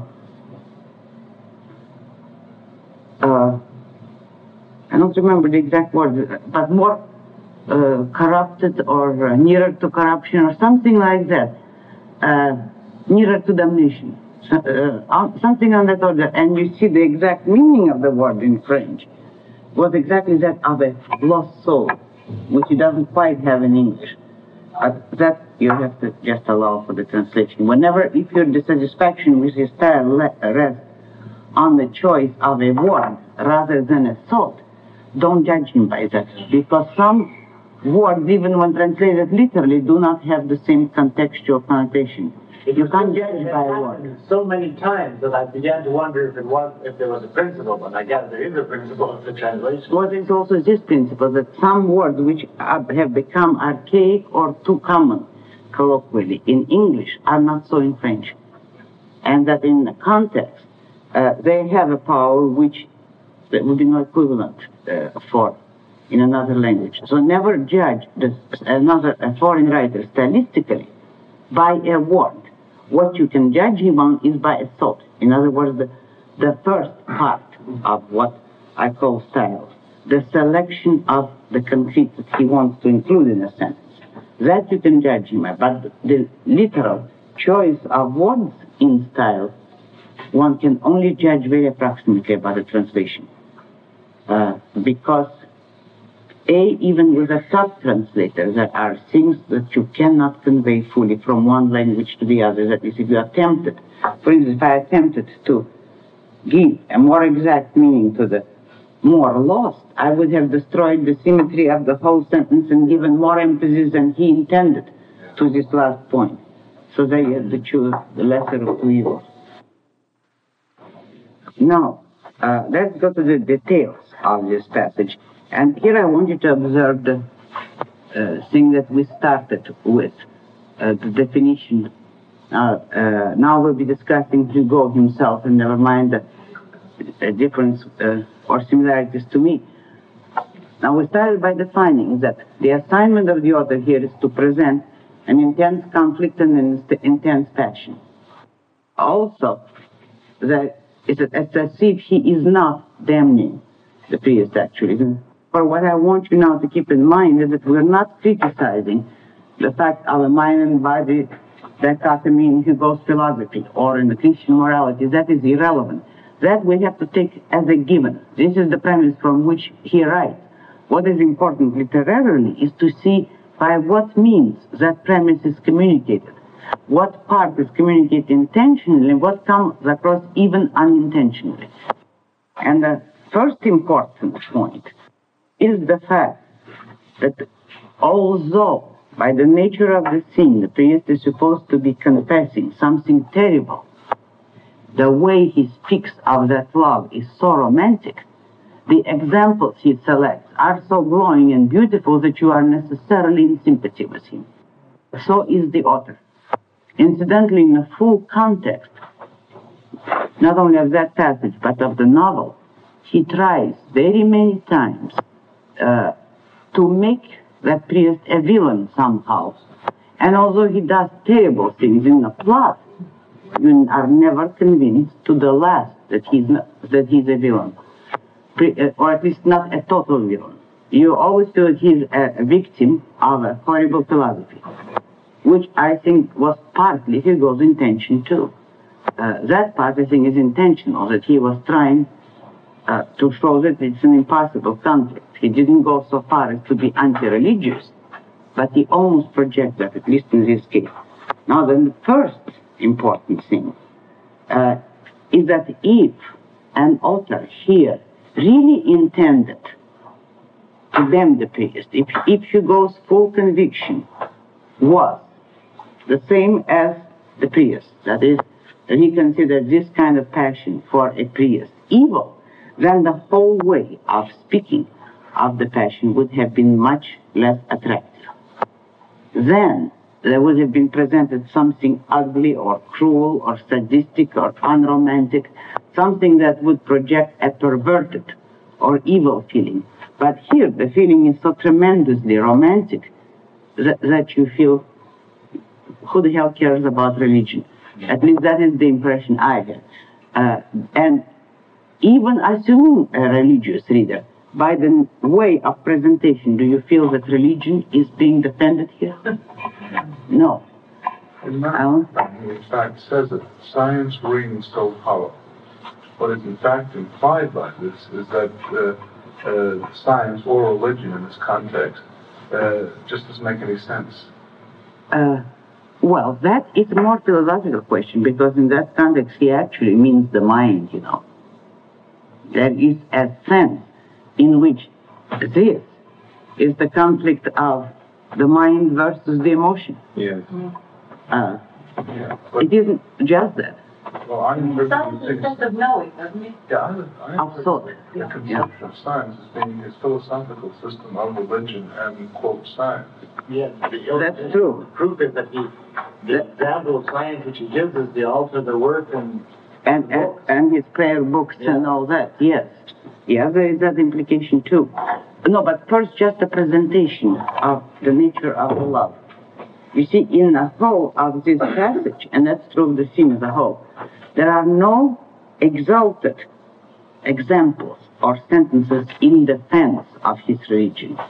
If Hugo's own viewpoint had been what is ostensibly supposed to be in the novel, that is, he condemns the priest, uh, not that he exalts religion, but that he considers the priest a villain for, for this kind of conflict. Uh, nevertheless, if he wanted to present with full uh, impartiality the balance between the two, he would have had to present the passion less attractively and religion a little, a little more forcefully. But in the whole of this passage, observe that when he mentions religion, it's only in a sacrilegious and blasphemous manner. He doesn't even indicate, I think only once at the beginning of the scene, how much religion meant to him. In this particular projection, religion means nothing. He wants to put God under her feet, which is wonderful. But that is not the way to project a guilty passion. And I think it's, uh, uh, that is, I'm calling your attention to the issue of selection of content. You see, that he selects these kind of statements for the priest to make is what achieves the effect which we named. That it's a conflict, all right, but that the author himself does not think that the priest is evil. In the course of the novel and of the kind of things that the priest does, it is obvious that Hugo did intend him as a villain. Uh, but psychologically and philosophically, he was, he, Hugo, was not sold on it. And therefore, that conflict will show in style and pre- by precisely this kind of means.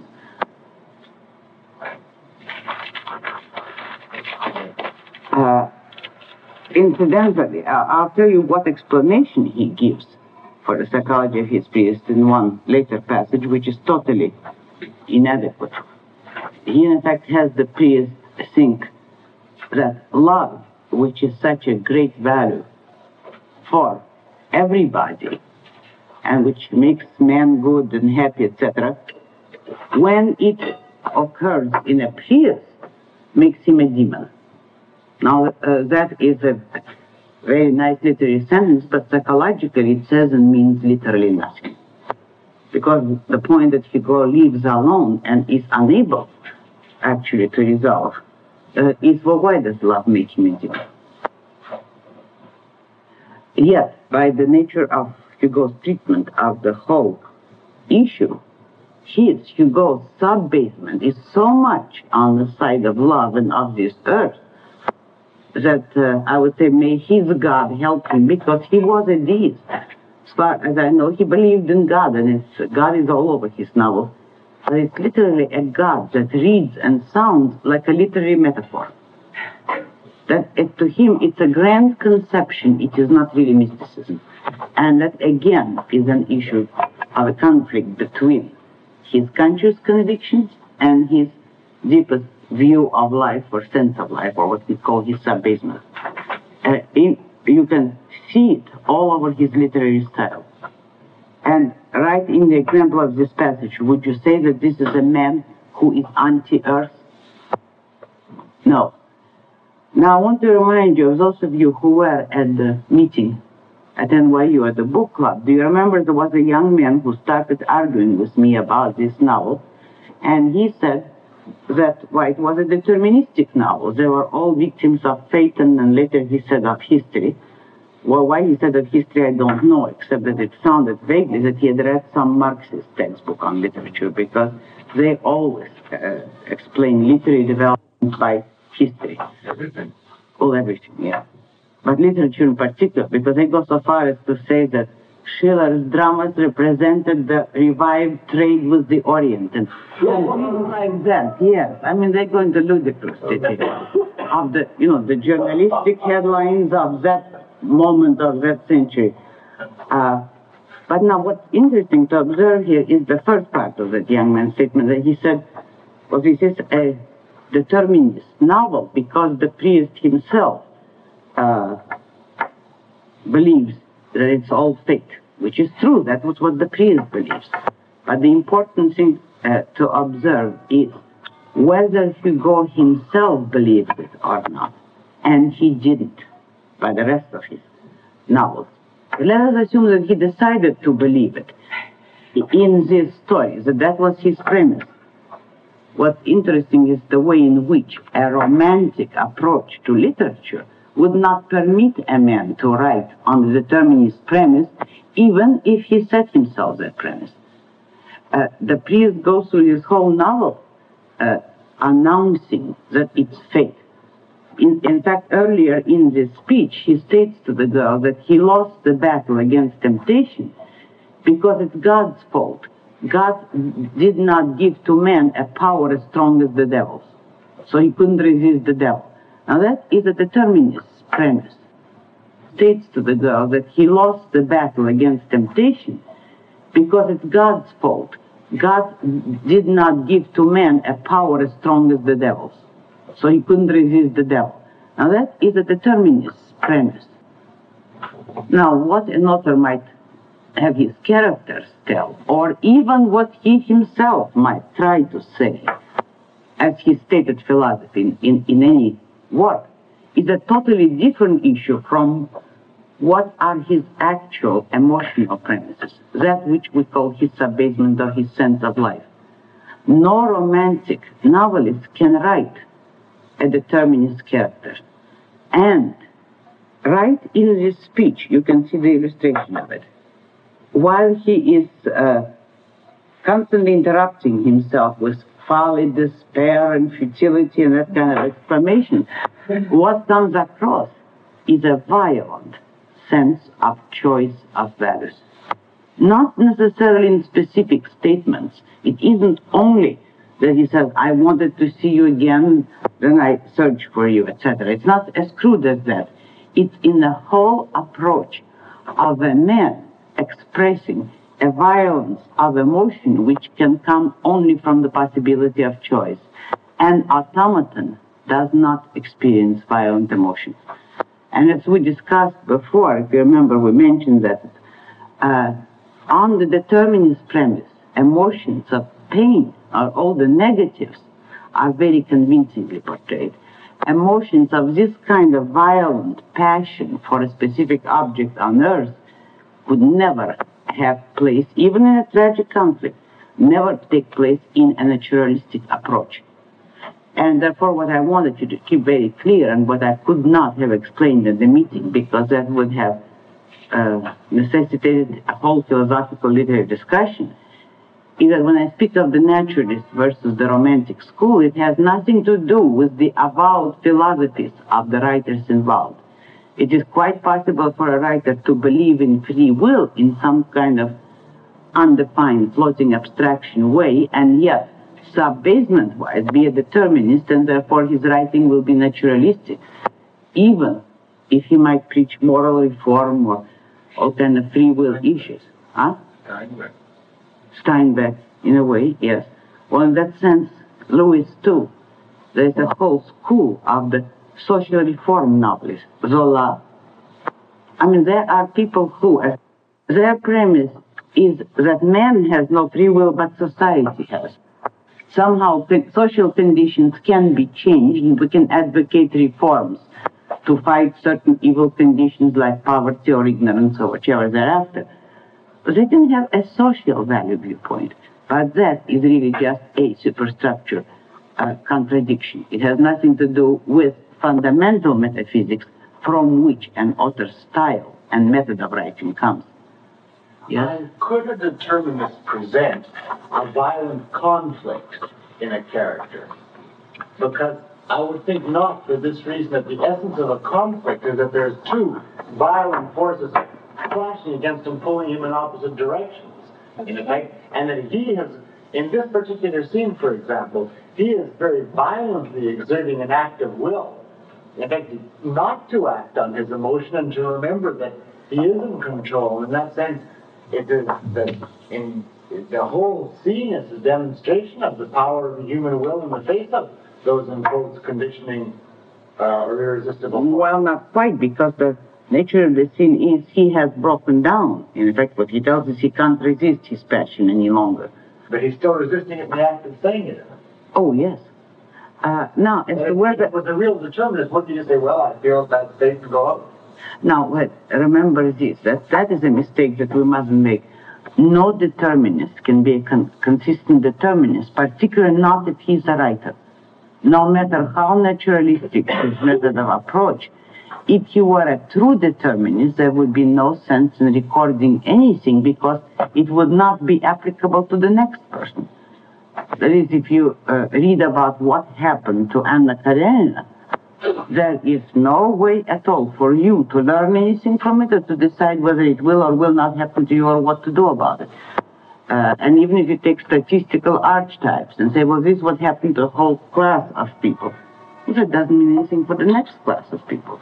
Uh, so that you cannot be consistent determinist. Uh, what you will observe is the inroads of romanticism, meaning of the free will premise, on all the determinists are tremendous.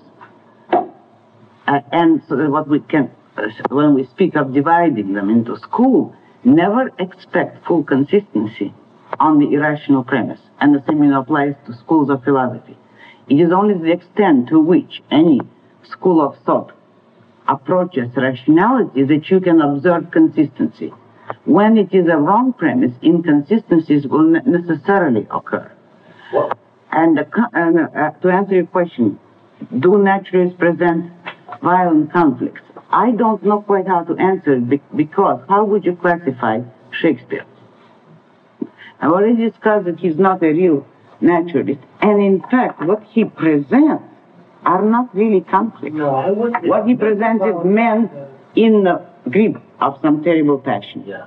And they're just declaiming or acting on the fact that, well, I can't resist my jealousy or I can't resist my parental uh, ambition or whichever the, the evils are. It is never a man fighting between two possibilities exactly. Now you could say Hamlet uh, fights against to be or not to be, to act or to be passive. It's not a violent conflict. What if Someone goes He does uh, he doesn't do anything about it. Well, he in. Yeah. Uh, and in, and it's to that extent that it's not uh, Maugham in so many ways is not a full determinist. And yet philosophically he is. Consciously he is, and in literary style he's certainly a naturalist, much more than a romantic, but the romantic elements, particularly now take his short stories, are very often breaking through. So that's a conflict that's their problem, not mine, in effect. Point out what specific things give you the very overpowering sense that this man is in control, even in spite of everything, and that he's confessing that he's lost the battle? Uh, What specific kind of lines give you that sense? well, first of all, the, the, the, the total of the story, but if you want to take just this particular passage. Just on this, I haven't read the rest of it. Right. Well, uh, on the question of determinism, Yeah. uh, the whole, his whole approach to it. Uh, for instance, the fact that he constantly says what he tried to do, how he tried to fight it. Then, if he didn't succeed, he went to see her again.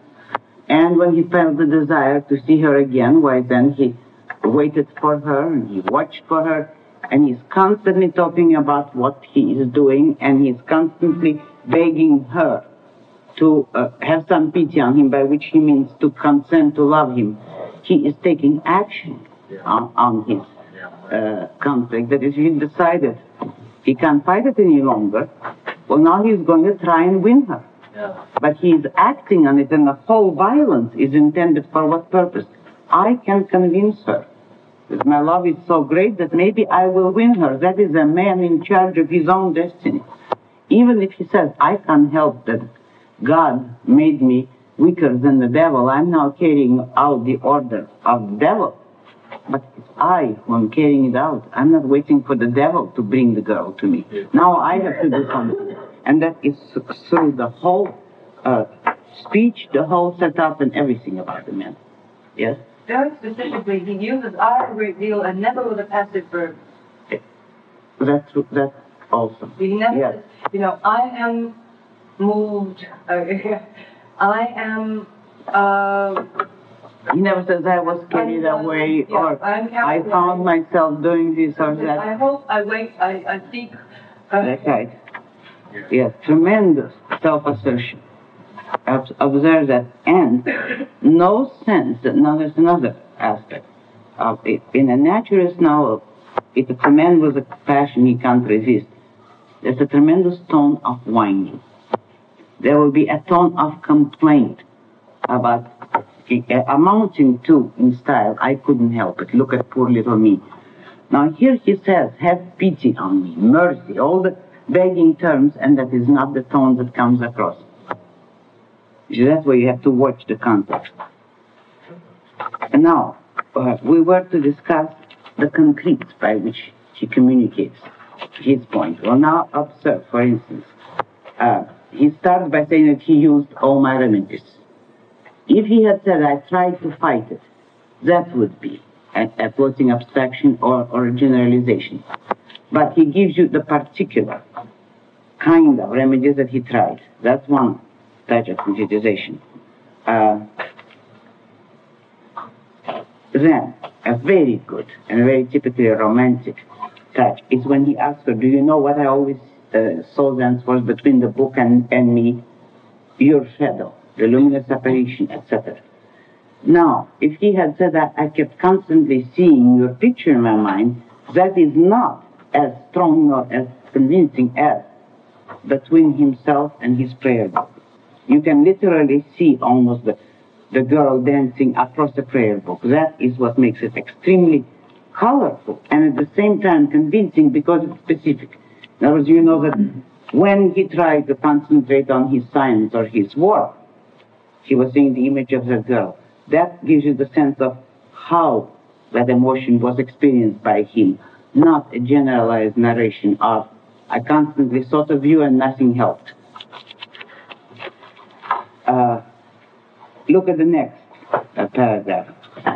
The, hearing her song uh, and, and her feet dancing on the prayer book. Again, that, those are concretizations conveying the exact sort of thing that he experienced.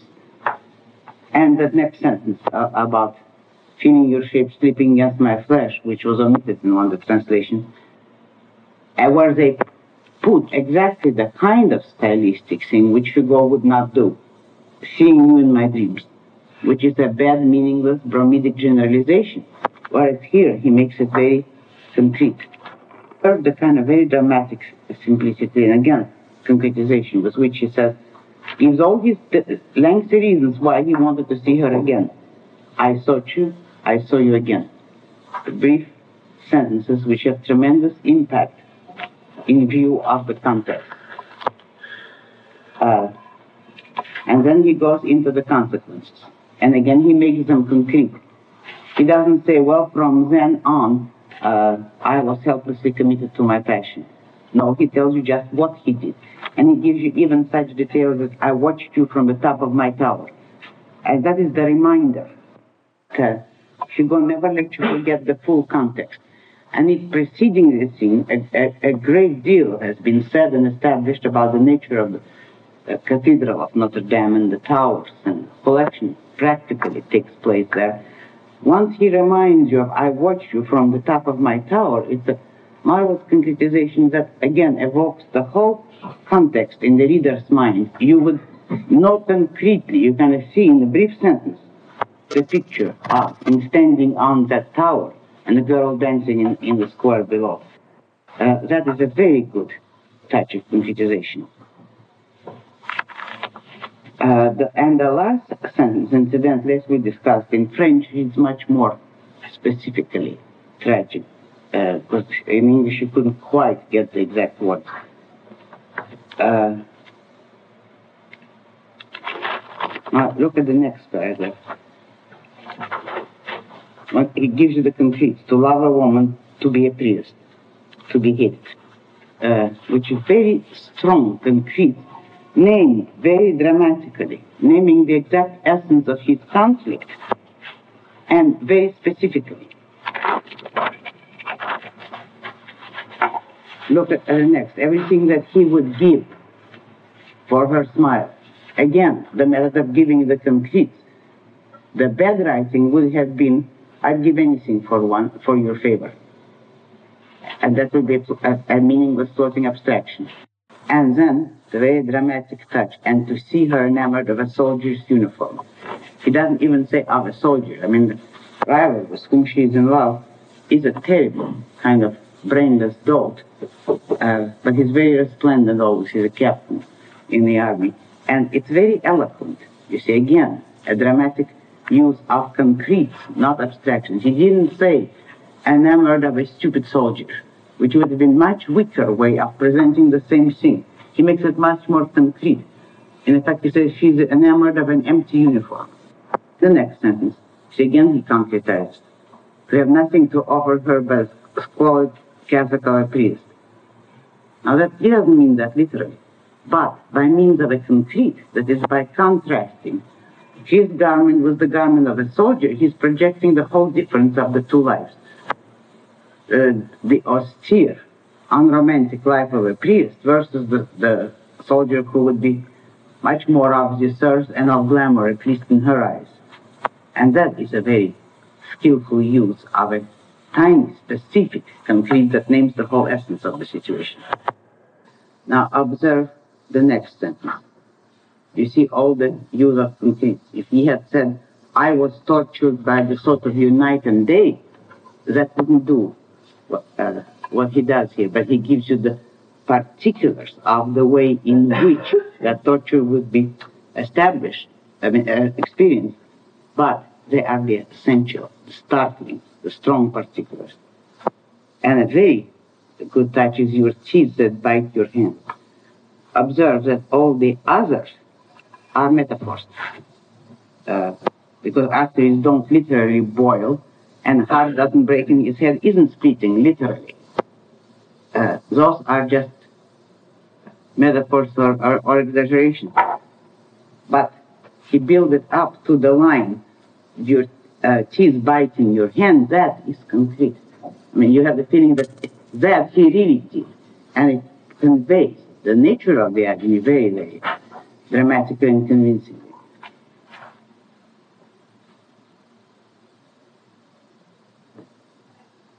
Now look at the last line. Torture me with one hand, but caress me with the other.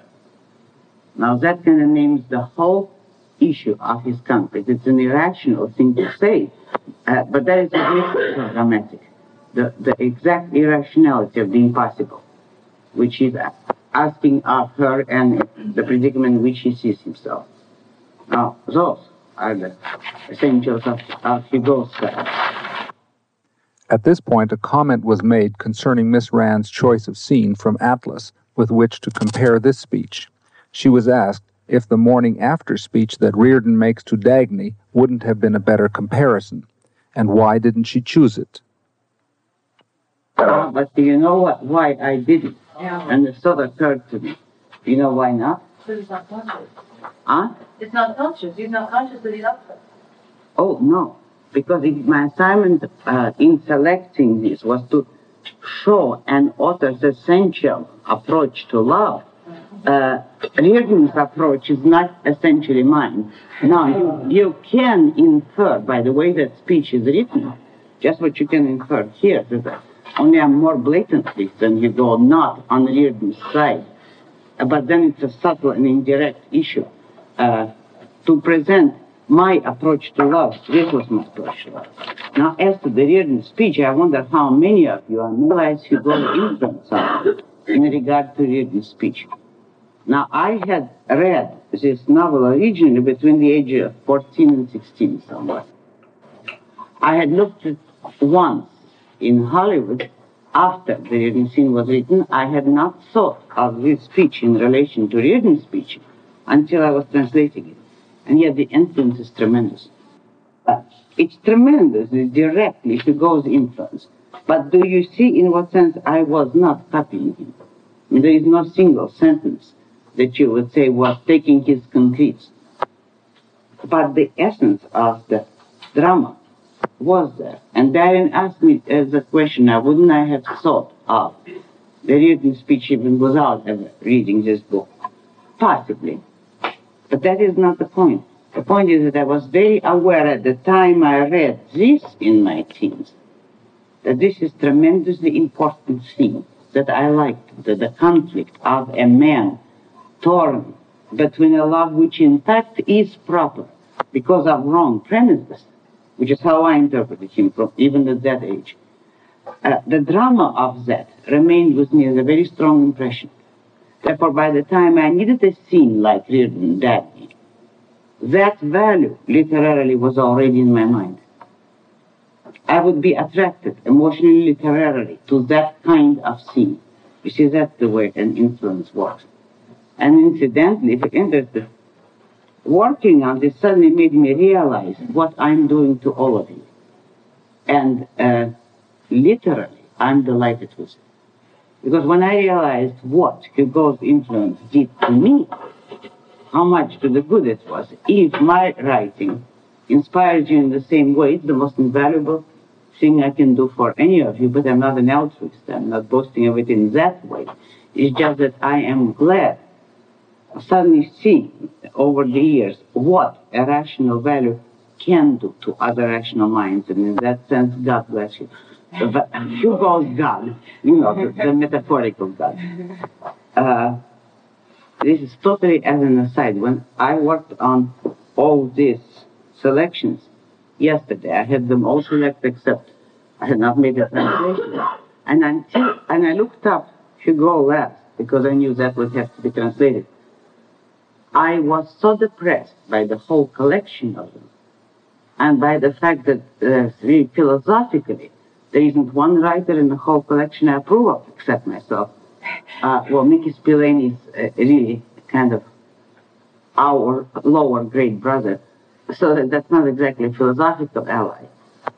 And I was really disheartened by the whole spectacle. I didn't like the idea of here I am as the only good writer to offer in a literary class. Then I read this, and it was as if my whole universe cracked. I spent all night till six in the morning reading Notre Dame for pleasure. I practically the whole second volume, skipping the aside, for the sheer literary pleasure of feeling, you know, on the premise, when he was good in the moment, how wonderful to see a great achievement which isn't mine. But I mean, this is what's totally missing from literature today. There isn't anybody today that one could find with this kind of grand scale sense of life and men. Uh, do you see from just this comparison what kind of view of men comes across from, from all those literary selections? And that's what's missing, and that's what I hope those of you who will be writers, please carry on, because without it, really, the whole world will perish.